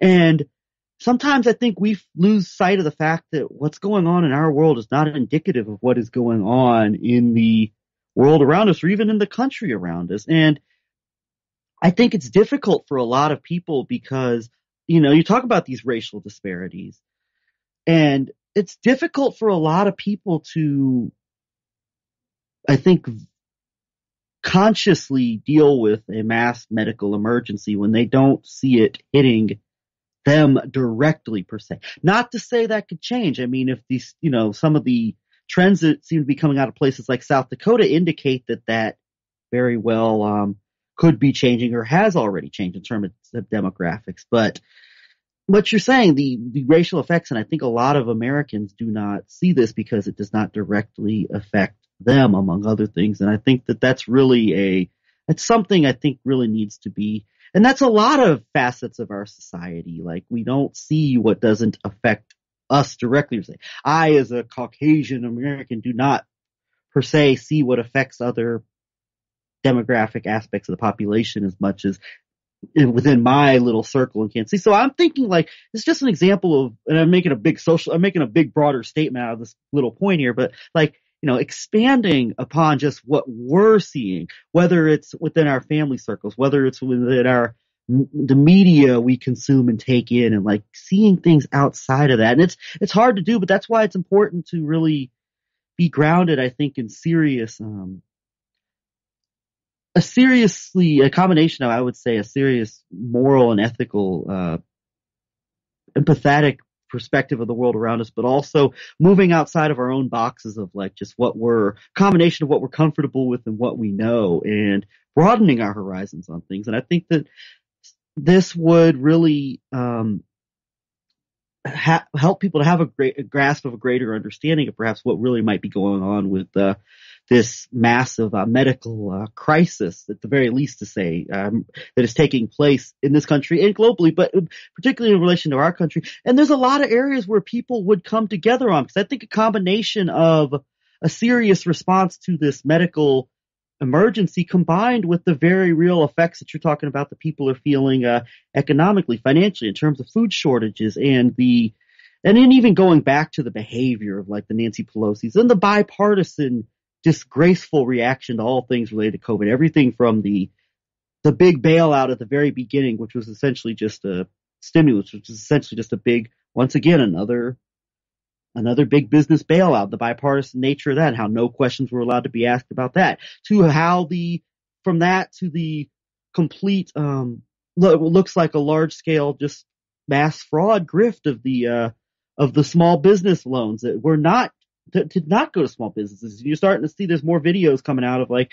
business owners speaking out about the hypocrisy of the fact that these wealthy interests that have that have the financial means to take care of themselves as it was were benefiting more from the allotment of what was supposed to be small business loans than the businesses themselves who were supposed to benefit from this. So I think you really step outside of like if if it's it's not easy to do, but I think it's important to try to step outside of your own boundaries of understanding what's going on around us. And I think that something like that could bring a lot of people together in terms of like an actual real united front response to the catastrophe going on around us in so many ways that is affecting that is affecting us and is going to continue to affect us as um as time goes on here as we're in a longer state of uh very likely uh extended lockdowns and the permanent effect it's going to have on everything from from business to the way we live our lives in so many different ways and manners. Well, I appreciate those those sentiments, Greg, because I think they're spiritually important right now, especially like the at this. There's it. There is there's a lot of trauma that is going on, and of course, people who experience more economic or psychological or biological uh, difficulty or destruction obviously have the most trauma in their families, you know, especially for people who die or commit suicide or who are totally wiped out. They have the, the biggest burden of trauma. But this is, there's a, you know, there's a much bigger scope to this trauma at some level in terms of as a, as a nation and as, as a world in many ways too. And so I think that, that, that perspective that you're bringing to it, to the, the openness, the open, it's to me, what it sounds like you're saying is like it's a crucial moment to b- both open our, our minds uh, or our eyes to expand our horizons in terms of our familiar surroundings, both physical and intellectual and moral and political, but then to also then at the same time open our hearts, uh, reopen our hearts maybe, which are, our hearts maybe, it's possible that the, you can uh, like if you're for example you're a a nurse practitioner who's seeing a lot of you know death and body bags it at some level you there's a certain amount of you maintain your humanity but you also sort of guard your heart potentially just in order to be able to do what you are required to do via your your calling your profession your human morality your commitment any of the, that combination there. And so I think in the moment that that's a good, you know, a good understanding for us so that it makes sense that we probably have closed off to some extent in relationship to when you have escalating, uh, trauma for, and certain people are being hit harder than you.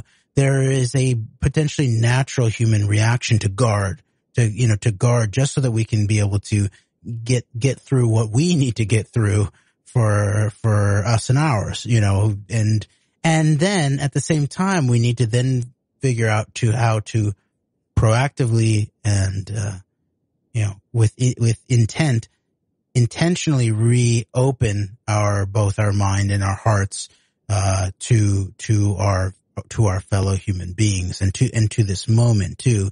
Because I actually think there's a lot of um, danger. There's both a lot of danger and there's also a lot of possibility politically that will open up um, and that need that there's a necessity behind the our engagement with the possibility and a lot of it politically in terms of the pragmatics of how you actually can begin to build a politics that brings people together behind real serious principles and real serious pragmatic solutions that need to be done fairly rapidly in many ways uh, on a whole lot of scales that we can talk more over the course of this you know upcoming months and years. That that that the basis of a lot of that is going to be an opening of one's perspective uh, to others of lots of different backgrounds and especially political uh, backgrounds or or or uh, understandings um, so I think there's a lot of power in what you uh, are you just uh, articulated, Greg, and um, so I, I, appreciate that, and I think that that sort of the the that that it feels like a, a, a, a gift of our conversation uh, today is that is that awareness uh, that you brought to us. Um, so maybe we should, I don't know if we should, maybe we should just talk another maybe 10, 15 minutes, Greg, on the uh, aspects of the Biden uh, team assembled at this point and what it might mean uh, about what the potential Biden Harris administration will be about, what it might look like, what things we need to watch out for, where where we need to be engaged, uh, and uh, and then uh, finish finish it off. What do you think? Yeah, it sounds good. And if you don't mind, I'd like to uh, just try to I'll try to be quick in my um, comments, but I'd like to go back to the domestic moment in terms of what we are talking about before with the, you know, Flynn, McInerney, military types calling for a martial law and what that could possibly lead to. Because I think at this point, um, I just wanted to go back to this. I think at this point, I do. I'm largely with the assessment of uh, our friend uh, John Brisson and his uh, his guest on his channel the other night, uh, Billy Ray Valentine, in terms of really this does appear to be like something that's not going to actually come to fruition in this moment uh, as far as like it's almost the way they described is like this is almost like testing the waters to see like a reaction to the scenario being floated out there of like a martial law type of uh military military carried out martial law scenario taking place in this country. And so you kind of look at it like that. But a couple things i want to say on this is kind of a follow-up to what we were talking about in our last show as well of like the potential danger of the moment is that while i think it's unlikely right now in this moment um that like anything other than like joe biden and kamala harris taking the oath of office on inauguration day is any any other scenario seems to be very unlikely to happen outside of that.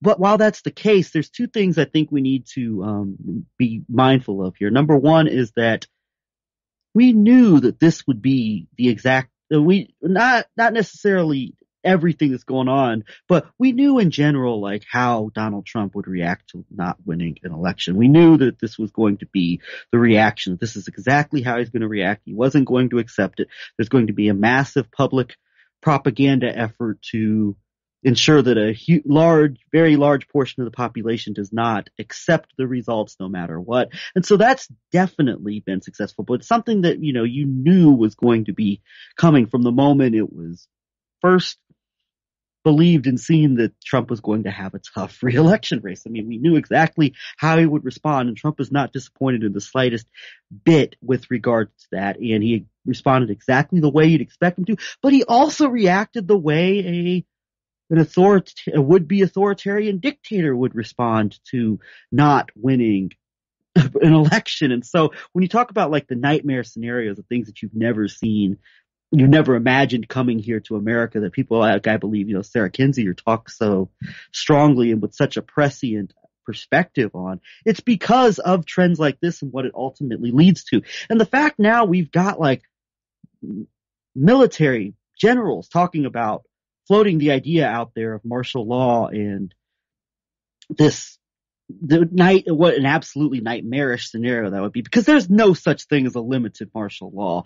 If martial law were to be declared so that hypothetically so that the military could oversee a re-voting, that is there's going to be nothing limited about that. I mean, it, it's it's an absolute um, guaranteed recipe for a, a monstrosity to come upon this come upon the society. So, so out with that. But the last thing is I want to say, like, even if we get out of this moment relatively unscathed, so to speak, if the worst thing that's happening with the, uh, this DOD shakeup in the, um, even what you were talking about before, and we'll have to go back to this at some point with the, uh, the shakeups that went on in terms of the, uh, overseeing of, uh, aspects of our, uh, of our nuclear stockpile. Even if the worst thing to come out of this is a combination of like, uh, of preparing the way for massive pardons or whatever combined with ensuring that, uh, that Erik Prince style nationless, uh,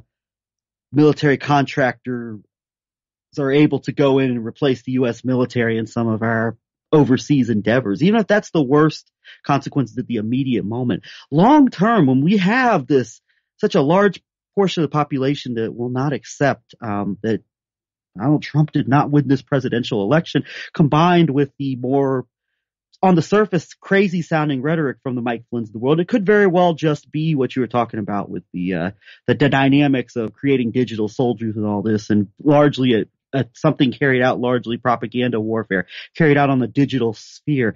But in terms of a long term analysis on this, Joe Biden and Kamala Harris taking office in January 2021 does not get us out of the woods. I mean, we are out there where this has been floated as a real, as a possible thing to happen by very influential members of the United States military, retired, but still very, very influential. Unless they have large, particularly Michael Flynn's case, who's almost like a, would be like a godlike figure within like the MAGA Trump base. And that this is being floated out there with millions and millions of people who are prepared to justify pretty much any type of, I, don't, I hate to say this, but I do not know what length, uh, just how much people would be willing to justify in the name of the election was stolen from us and our president was, was illegally def- illegally removed from office, basically as a result of a fraudulent election. So even with the incoming administration actually coming in with all the problems outside of even the problems of like Biden Harris administration, I think we'll talk about some of those here in a minute when I'm finished with this. But outside of that, we're not out of the woods in that we could very well see if this type of talk is being floated around there now. Almost unprecedented, I think, for people within the military to be speaking like this publicly. Um, this is being floated out there. We cannot discount the possibility that in the long term we will see, you know, we could very well see a scenario that you've only heard about happening in banana republics and in other countries throughout the world that is you could never foresee happening in America. It could never happen here. No, we cannot dismiss that. And who knows, like how the escalation of things in terms of uh, the continued sowing of uh, domestic division and the domestic situation getting worse with relation to the ongoing uh, pandemic and everything surrounding that. So, you know, we're not, you know, we're in a, we're in a situation where not just in the immediate future between now and January 20th, but going on from there where we are facing that we have to really realistically look at some previously unforeseen uh, scenarios happening here domestically. Oh, I to- I totally agree with you that, and I appreciate you following that up because my sense of the the danger of the Michael Flynn hybrid warriors is that even if we do not encounter the worst case scenario during the transition or lack thereof, that that the they have created such a, a massive and effective uh, hybrid warrior set, a, a chaos warfare set in this country to the tune of probably millions and millions and millions of people. And it's not, of course, it's not all, it's not like all Trump supporters, obviously. It's not that, you know, but there is this very strong base, especially as it was then developed via something like QAnon. And now we see the, you know, the escalation or the elevation of Um, real quick, Jeremy. I Mhm. just want to say uh, you're right. You're absolutely right. It's not every Trump supporter. It's not. But I will say this: I can tell you, like from you know media that I hear and listen to within like the talk radio realm of things, is that while you know you're by and large your your mainstream GOP commentators are not going to endorse like you know martial law or chaos theories, but also the the Rush Limbaughs of the world, Sean Hannity's world, they're doing absolutely nothing to try to um, even alert their audiences that they're that that this kind of talk is very seriously going on. So at the very least, even like people who are not not privy to having this type of mindset regarding like the way like the more say more triggered uh you know social media people who are very much on social media who follow things like QAnon or even some of the more you know QAnon light that uh, operations that are out there you know there's still a very there's no there's virtually no pushback anywhere from within like the the conservative like Republican sphere against any of this uh talk that's going on. So I just want to throw that in there. Oh yeah, and it's definitely a uh, a shock. It's a sort of a hybrid warfare shock troop scenario. As you pointed out, we're, we're not just talking about like the grassroots or the you know the the militia hills as might have been talked about like during the Clinton 90s or something like that. And remember how much was made of of, of that in the run up into the into the in the deep political run up to the new quote unquote American century in 9-11 with things like the first, uh, you know, the, the first WTC bombing, but then Oklahoma City and this really strong focus then on the threat of domestic uh, terrorism, domestic extremism. Now that sort of element that even just thinking about it as a, a concept or a, a counter gang, counter boogie gang, even let's say counter boogie boy or boogaloo boy kind of scenario where it can just basically be pointed at, uh, in these coming years that it, it creates a, um, a massive possibility for, I would call it like, it's almost like a, uh, you know, dispersed uh, digit, uh, hybrid warfare tactical nu- nukes in an information warfare kind of scenario. And that's why people who are in full denial about how foreign this was or this is, as you pointed out on C-SPAN, in all of its elements and how it's fused with these domestic elements. And, uh, you know, how, how Russian this, this was, how Israeli this was. People who are in denial of any of those elements don't really understand how potentially dangerous this exister, existing uh, hybrid uh, shock troop set really potentially is, especially then when you layer on top of it, just as you said, this is like, you know, not reserved to, uh, you know, to, uh, shortwave radio. You know, this is, this is the commanding heights of right of like corporate right wing radio. This is now at the commanding heights of the Pentagon. Uh, this is the commanding heights of, of generals who are saying this kind of stuff out loud, who are part and parcel of this ongoing threat in many ways, right? And so that, that's gonna, that's continues. And so no matter what happens in the next month and a half here, uh, or through the rest of the quote unquote dark winter to darkest winter or whatever and how we m- move out of that and how we then address what comes after that. There's going to be this political situation here. And that's totally, uh, not even dealing with what then the, those that are now coming into executive branch power represent in terms of the dangers.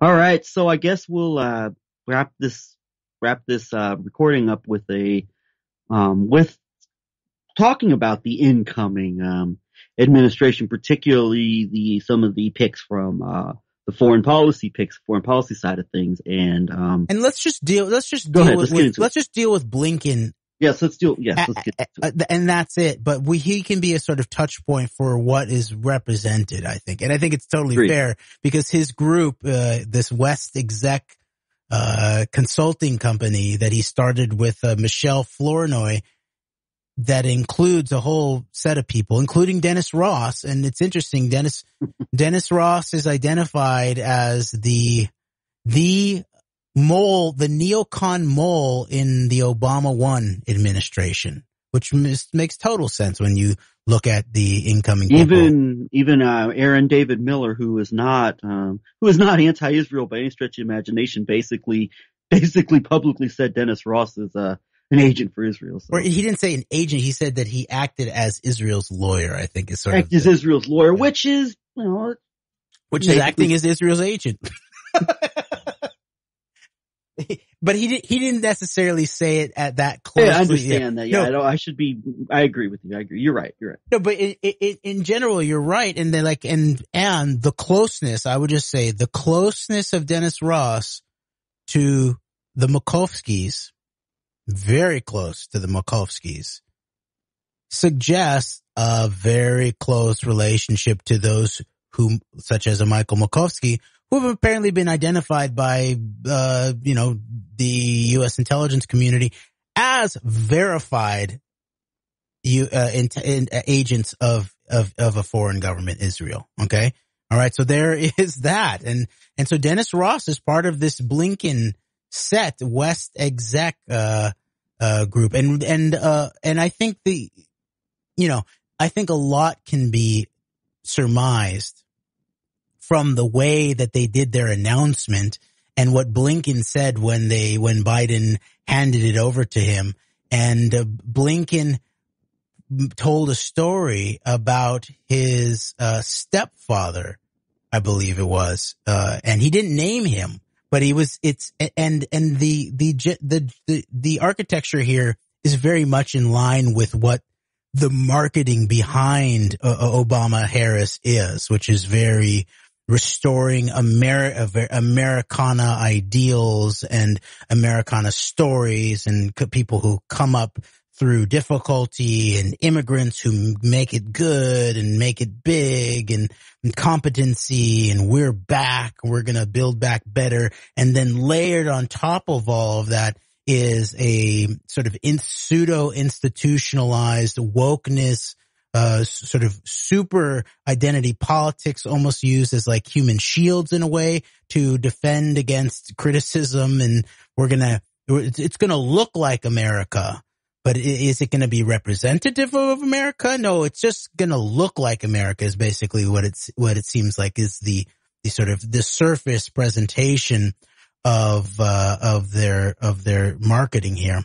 But meanwhile, it's, you know, the national security set here is Blinken and Blinken's Flournoy West exec set, uh, where they are working with foreign companies. They are, they apparently work with this, uh, what they call an Israeli artificial intelligence company, but it looks like it's a parallel or a competitor to, uh, Ghislaine Maxwell's boyfriend slash maybe husband, pseudo husband of some sort, Scott Borgerson that we covered, uh, uh, after Maxwell was, um, arrested, I think. Oh no, actually we covered that before she was arrested.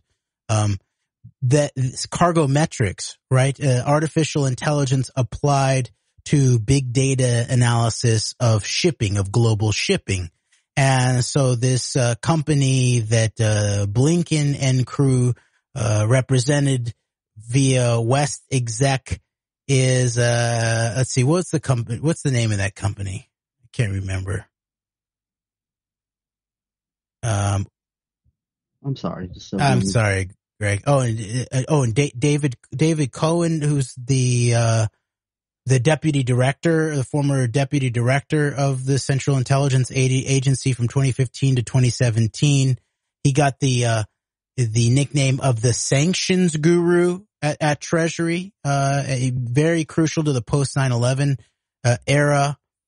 Um, he's part of the West Exec crew and the and the the the name the name is basically about the that they are highly seasoned veterans of the executive branch and the White House and they uh you know cross that um street there uh next to the White House many many times basically West Exec. Uh and so that's the that's the naming uh of it. And the and it's what's interesting too is they one of their strategic partners is the Boston Consulting Group, right, which is parallel parallel to the background of Bain's uh, and, and all and all of that. Um, I'm trying to get the name of this Israeli company, but I, I can't find it right now. It's all right. Um, in a moment, I could look for it here. Just, I'll find it here in a minute. Okay, I'll just keep going. I, I want to go back to this announcement of Blinken that really points to puts the whole sort of network in many ways together, right?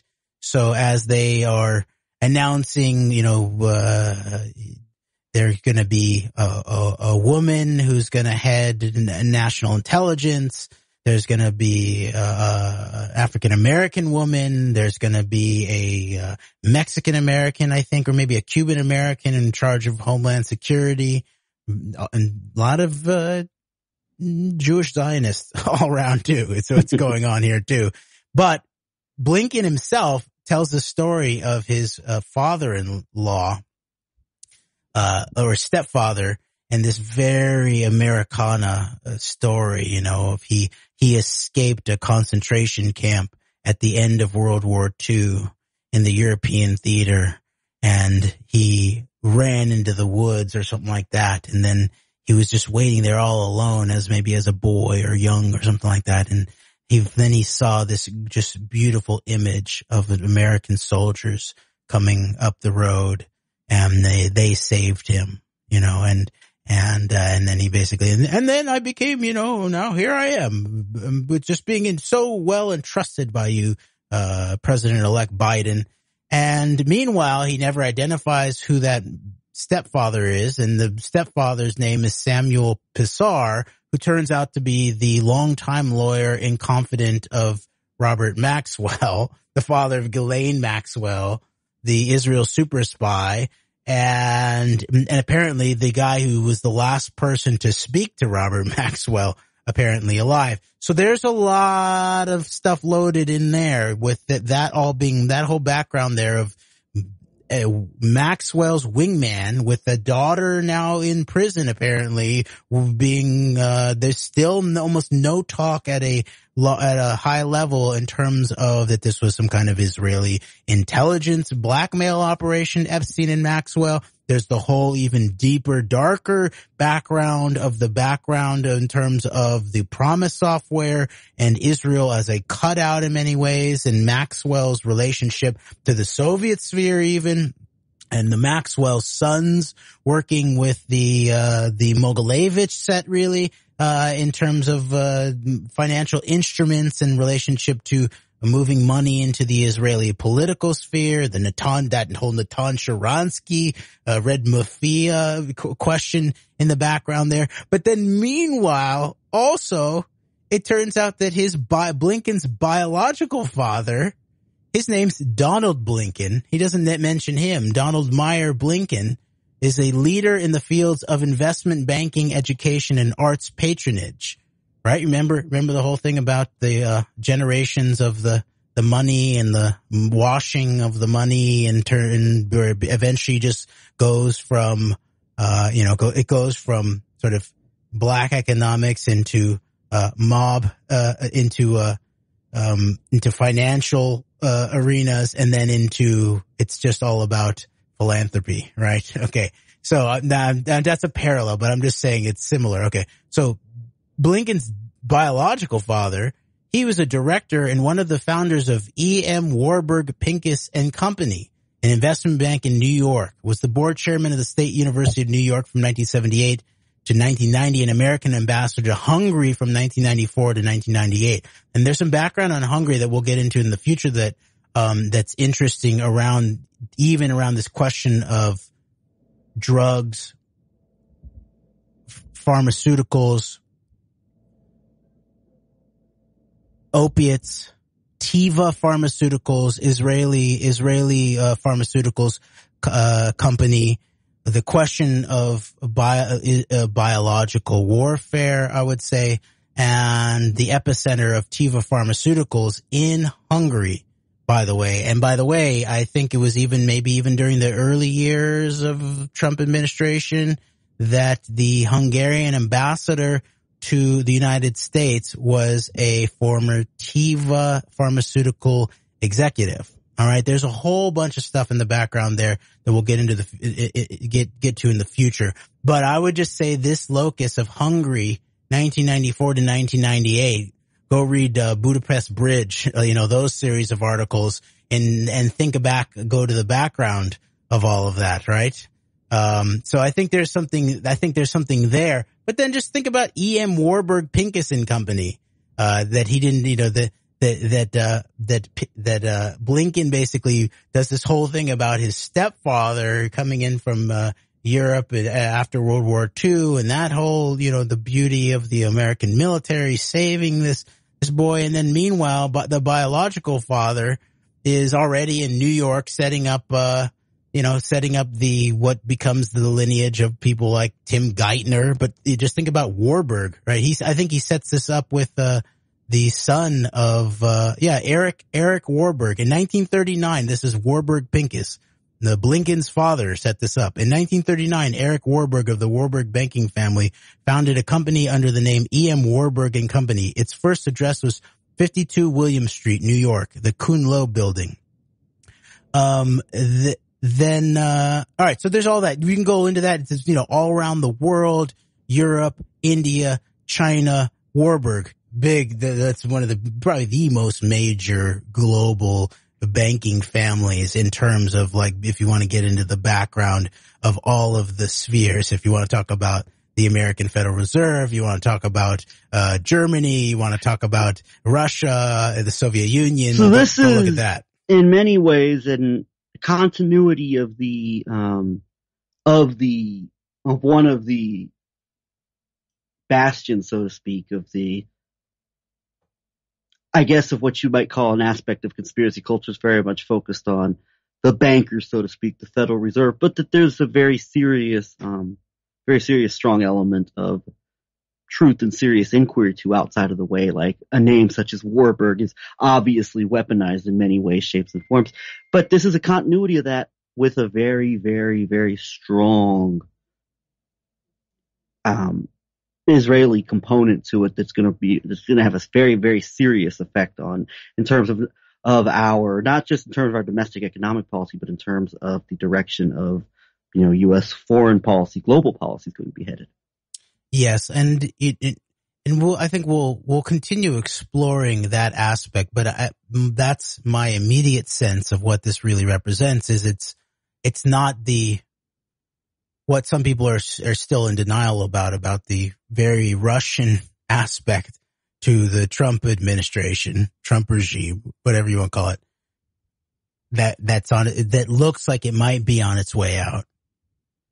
It hasn't admitted it yet, but and it's still running slop ops. And maybe there's something worse immediately, but I sort of have the sense, right?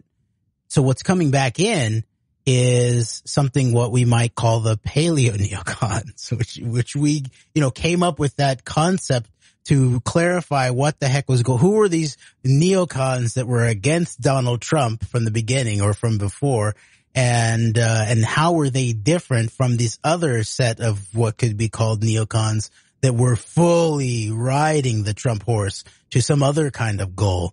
And so what we see here is the older school, maybe the paleo neocon, mm, you know, American neoliberal establishment foreign policy consensus types back in the saddle potentially. And they are, you know, they can be pointed to as have being much more, you know, experienced and much more, uh, effective and more, uh, American in their institutional outlook. And a lot of that is true. And at the same time, as the, there is an engagement with into this next, you know, generation of global conflict, so called, right? Uh, past the global war on terror one now into this great power, uh, conflict. This is, this is now, I think, the, the emphasis on the question of the American establishment and its relationship specifically with Israel and the background. This is partially why I was talking a lot about the origins of the Iraq war. This is going to come immediately back into focus and we need to really bring it back and put it on the table. And of course, 9-11 needs to then again be put firmly back on the table. And, you know, this, this is one of the proper serious criticisms of the whole Biden set from everyone from the, you know, good faith, uh, Trump voters to the, to the left and the Bernie supporters and all that is the question of the Iraq war. Blinken was deeply in the mix in relationship, uh, to the, to then Senator Biden and his, his backing of the Iraq war. And so this is going to need to be uh, unpacked, especially in this really global relationship of uh, of uh, you know China, especially. Israel, China, the U.S., Israel, China, and then what kind of proposal is there that could be said to be beyond this pseudo dialectic of different sort of flavors of neocons, really, at some level, you know, and there is one and it and and it's it it's also uh, uh, embraces the the possibility of American Renaissance of even what you might say American global leadership, but it has nothing to do with the question of either of the return in many ways. And I think what they're actually, what they're looking to, they're hoping to do here is like, oh, let's just forget about that whole like Iraq war, you know, biggest quote unquote blunder. You meant we did a whole show about when it came out about the blunder. It was not a blunder. It was a mass. It was one of the biggest, if not the biggest sort of crimes against humanity in this yeah. century, the Iraq war. And, and it was also a geostrategic quote unquote error of massive proportions from the American imperial perspective even. And it was not a blunder because, because that's why we have to deal again with the nuts and bolts of the Israel lobby, the book, the whole scenario, and then add on top of that the question of technology transfer, cyber, Talpiot, inserts, HUMINT, inserts the combination of human intelligence and SIGINT into the, the heart of Silicon Valley. We, you know, also already saw this question of the Jedi cloud being tra- transferred in a very strange way by the Trump uh, regime to the uh, to Microsoft, uh, Adallom, Talpiot Unit 8200. So that is all going to be like immediately on the table in relationship to this moment that I believe they are going to try to recreate of no, no, for real. This is real. No, we messed up for the first fifth of the new American century, but let's hold, let's forget about the whole endless war and the Iraq war blunder and the stumble and the, you know, the 20 years of millions of, dis- of lives destroyed and the, the hmm. looting and plundering of the American resources and American morality and credibility on top of all of that. And let's really, let's really do it. Let's make this the real uh, American uh, unipolar moment. And, and it's going to be done under the guise of a multipolar architecture, but that will be seen as the United States recreating a, a new global, uh, you know, um, alliance of some sort that, uh, and it'll, you know, it'll be, it'll be India in relationship to the pivot to Asia, you know, to the, the, the pivot to, uh, uh China. Oh, And it's all, it's going to be Japan, Australia, India, and they're going to assemble this. That's going to be the mul- the new mul- multipolar order that's going to try to extend the uh under the it's that's going to be the guise under which the American unipolar moment is going to be attempted to be uh extended and meanwhile I think we need to propose these the kinds of things that were being looked at by you know the the era of the Khrushchevs and the Kennedys where there are much bigger issues facing humanity beyond which nation state is going to dominate the other's sphere. And sure, we, I don't think we want to, you know, we do, we don't want to shy away from the question of China, but we also don't want to shy away from the question of the threat of the American uh, Yeah. sort of surveillance state unipolar moment to be led by Eric Schmidt and Google who are being brought into uh, this this uh, administration. I'll give them a little chance this Biden administration before I call them regime. We'll see. We'll see how long uh, Um, that lasts. and following up on what you said there regarding the, um, it made me think when you talked about like this new push for like, forget about the mistakes of the past. We're really seriously going to do the right thing this time. And I was thinking about that because it's an interesting dynamic that I think you might see a serious concerted, um, propaganda effort to promote within aspects of, you know, the media, the, you know, democratic, uh, more liberal establishment, the combination of like the, you know, the neoliberals and the paleo conservatives, right? Those who are like the, what we've come to coin the phrase of the paleo conservatives and their The respective paleo neoconservatives. paleo neocons. I'm sorry. Yes, paleo neoconservatives. Yes, uh, and their respective, you know, mouthpieces in media and in other areas of our society.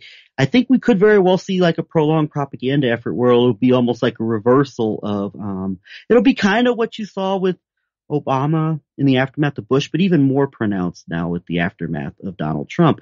And that is a scenario where you go from the Americans being obviously just how hate, despised, and disliked the U.S. was around the globe because of the criminality of the Bush administration, right? Obviously, there was still crimes taking place under the Obama administration, but it was a pronounced um, drawing down of like the overt, blatant uh, war crimes of the Bush era. And then with Trump, you know, until, you- until it was escalated under Obama. well, but but you're mean- right though in terms of the front end of it is Yeah. the oh no we're gonna we're gonna draw down we're gonna be more humble we're gonna be more respectable and respectful Right. and then the whole thing escalates into sort of drone legal architectures and Libya Yeah, but I mean, from that regard, like the way, the way, the, I think the the perception of the Obama administration was it was less openly like criminal in terms of its carrying out of things as far as compared to Yeah.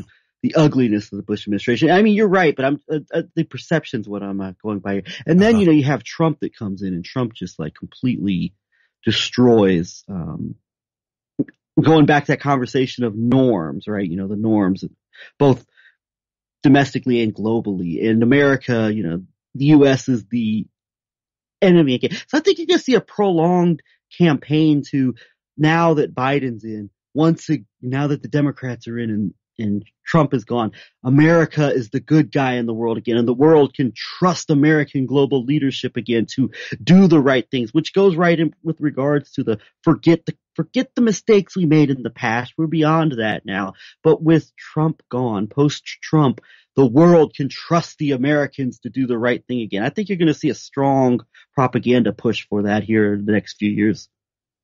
I think you're, I think you're completely right. And, and this is all like putting aside the question that we dealt with before about the, the, and this of, this was, you know, this Avril Haines, uh, selection suggests that this is once again the Obama, uh, Bush era, as you identified, that, that there is a sort of, at least for the aspects of the world who are looking for what looks to be a bit saner presenting, a little less criminal presenting leadership. Um, and as that's happening, then there's all the look forward, not backwards. And so the Avril Haines being apparently being a leader in making sure there was not either, uh, transparency or accountability in relationship to the Bush era CIA torture crimes right? And actually, and then we pointed this out very early, actually, in in during the Trump era, and, and maybe we actually did it during our show. We did a show about Obama and Obama's relationship a lot with uh, Israel and Zionism. And what's interesting now, Obama has his new book. We'll talk more about Obama in, in the future, I think, but he has his new book out where he discusses pretty openly, you know, the the uh, power the Israel lobby power in relation and Netanyahu and all of all of that and uh, and discussing it you know way too late really in terms of having having some public discourse serious effect when it would have mattered which is when it was happening bro you know uh, and so you know th- there is that aspect where they decided Avril Haines and this whole Obama thing that in so doing to try to look forward rather than backwards they actually set up not only the situation where they escalated a torture program into a, a, a, not only a physically escalated but a legally escalated drone program, which Avril Haines did a lot of the legal architecture for, and I believe she actually was as legally careful as they say that she was in architecting it. However, what it did was it, it, it just escalated the machinery of death. And instead of, you know, Obama saying that he had black sites and uh, was filling up Guantanamo again, he basically solved that problem politically by uh, incinerating people at weddings uh, and uh, and killing uh, children, right? And and and now what? And and and this should be really hung around the neck of like this whole crew and this uh, the Obama crew is now under someone like a Trump. It's been escalated, but we have no actually no clue how much it's been escalated. We have a sense it's been escalated severely, actually, but there's because it's in a it's been even made even more covert in many ways. Uh, and so we've heard less and less about it so that even like people who see should know a lot better are still calling Trump some kind of, uh, you know, anti-war president when he took the Obama administration legal architecture for the drone program that killed, you know, they say, you know, high hundreds, but it was thousands very likely. Uh, and they've escalated that, uh, under Trump. And now these quote unquote legal architecture of it is probably like, okay, all right, just to do it, you know, I mean, there's probably, there's probably very little legal quote unquote architecture behind the escalation of the terror war drone program. And so that is a lot of this, the danger of this moment. And I think, and that's where I, you know, I, my sense of it is that the early look forward, not backwards scenario in Obama administration led to the violent escalations uh, in relationship to uh, around the world in you know Libya and Syria uh, and Yemen and, and, and And- all of that. And I think perhaps the beginning to close it up here, that is why we cannot allow history to repeat itself and just let the let the last few years and obviously even everything even going back before that, you know, much less why we can't do it why we cannot afford to have another moment like when Obama came into office and the past was completely forgotten about and just swept under the rug.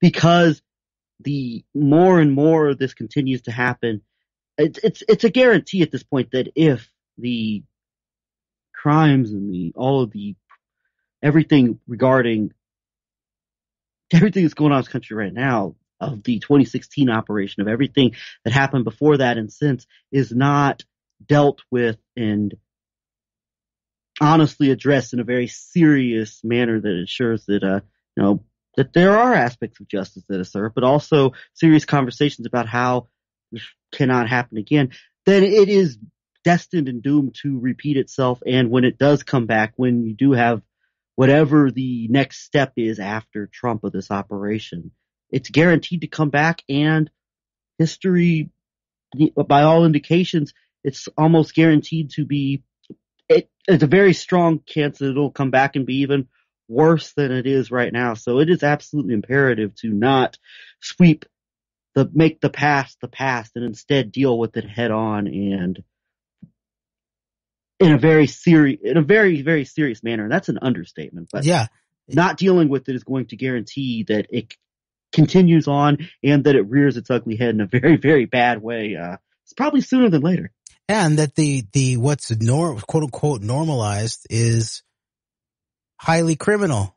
It, and it needs to, and that is one of the very likely one of the motivators behind the perpetual lack of accountability at the highest levels in our society. Obviously, just the Maxwell question, the Epstein question, is so relevant at this point. The combination of the question of the Iraq War, of Israeli intelligence's involvement in all of that, the question of leverage that has still not been explained in relationship to that, or the 2004 election mid Iraq war, where Kerry, then Skull and Bones Kerry said nothing, uh, in the midst of election fraud.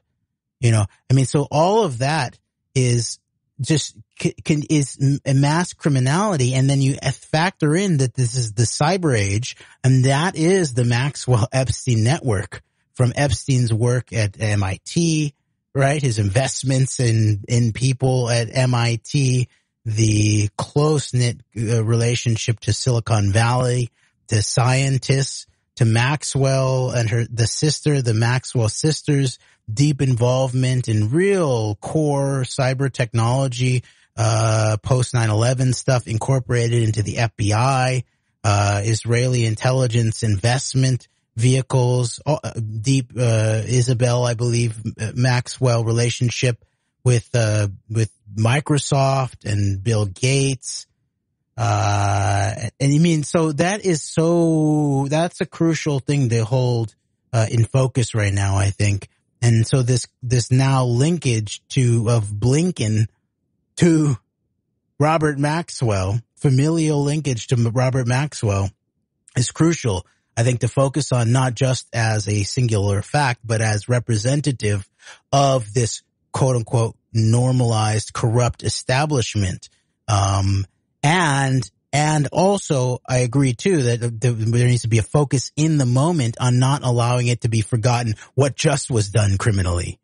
And that of course is the question of accountability immediately in relationship to uh, the 11-9 uh, global mob Trump operation, uh, it, right immediately after the last bits of its fits of uh, Trump pump and dump slop ops on their way out. Okay, so at the same time, you know, Flournoy, Blinken, this whole set here that's being set set up here uh, needs to be looked at very, very carefully, and we need to further expand the awareness and understanding specifically of this very, very dark relationship between uh, the U.S. and Israel and the power dynamics that uh, underlie uh, a, a lot of that. And the question of whether we are going to engage in the crisis of our, we have crises of our moment that are severe and uh, require very quick action at a very large scale or scaled up. Let's say we can do it on a, a localized but scaled up up through state, national, international levels in terms of a combination of economy, ecology, and technology and major decisions about the future of our country, about the future of humanity, about the future of our humanness are going to be made in this coming decade, really. And so we need to be up to the, that challenge in, in the time scheme that we need to be up to it and, uh, make sure that, that, that the answers to those challenges are being met with a question of morality, political sovereignty of we the people, and then spiritual uh, dignity fully in the mix. And that's only going to happen if we, the people, and I don't mean just here in we the people in the, the Republic of the United States of America, but we the people worldwide, whether we are, uh, you know, get our act together in time.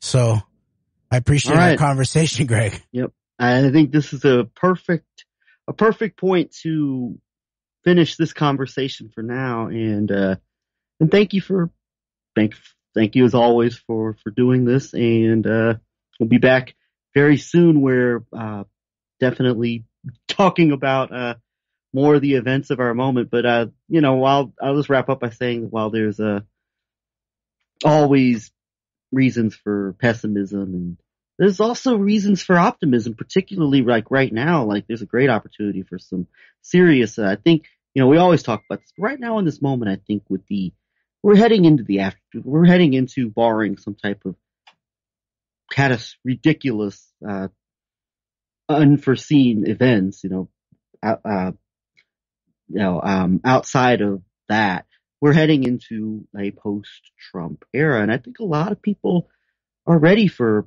conversations and they're very serious, uh, people as far as like even reaching out to aspects, jilted aspects of the Trump base who see that none of these promises are coming to fruition combined with a combination of, uh, very serious, astute observers of the Trump era and also elements of the, uh, you know, the Democratic base that are very disenchanted with uh, the prospects of what a Biden Harris administration is going to bring. It's a very interesting time to be, I think, to really uh, have dialogue with uh, with people about the events of our time. And I think there's a there's a we say this all the time. But I think right now there's a really big there are a lot of really big openings in that with that regard. So that's a that's a reason to be optimistic in this moment. Yeah, or at least hopeful hopeful, I guess. All right. All well, right. Uh, thank you, my friend, and we'll uh, we'll do we'll do this again very soon. All right. Thank you, Greg, my friend. All right. Bye, y'all. Antidote, we out.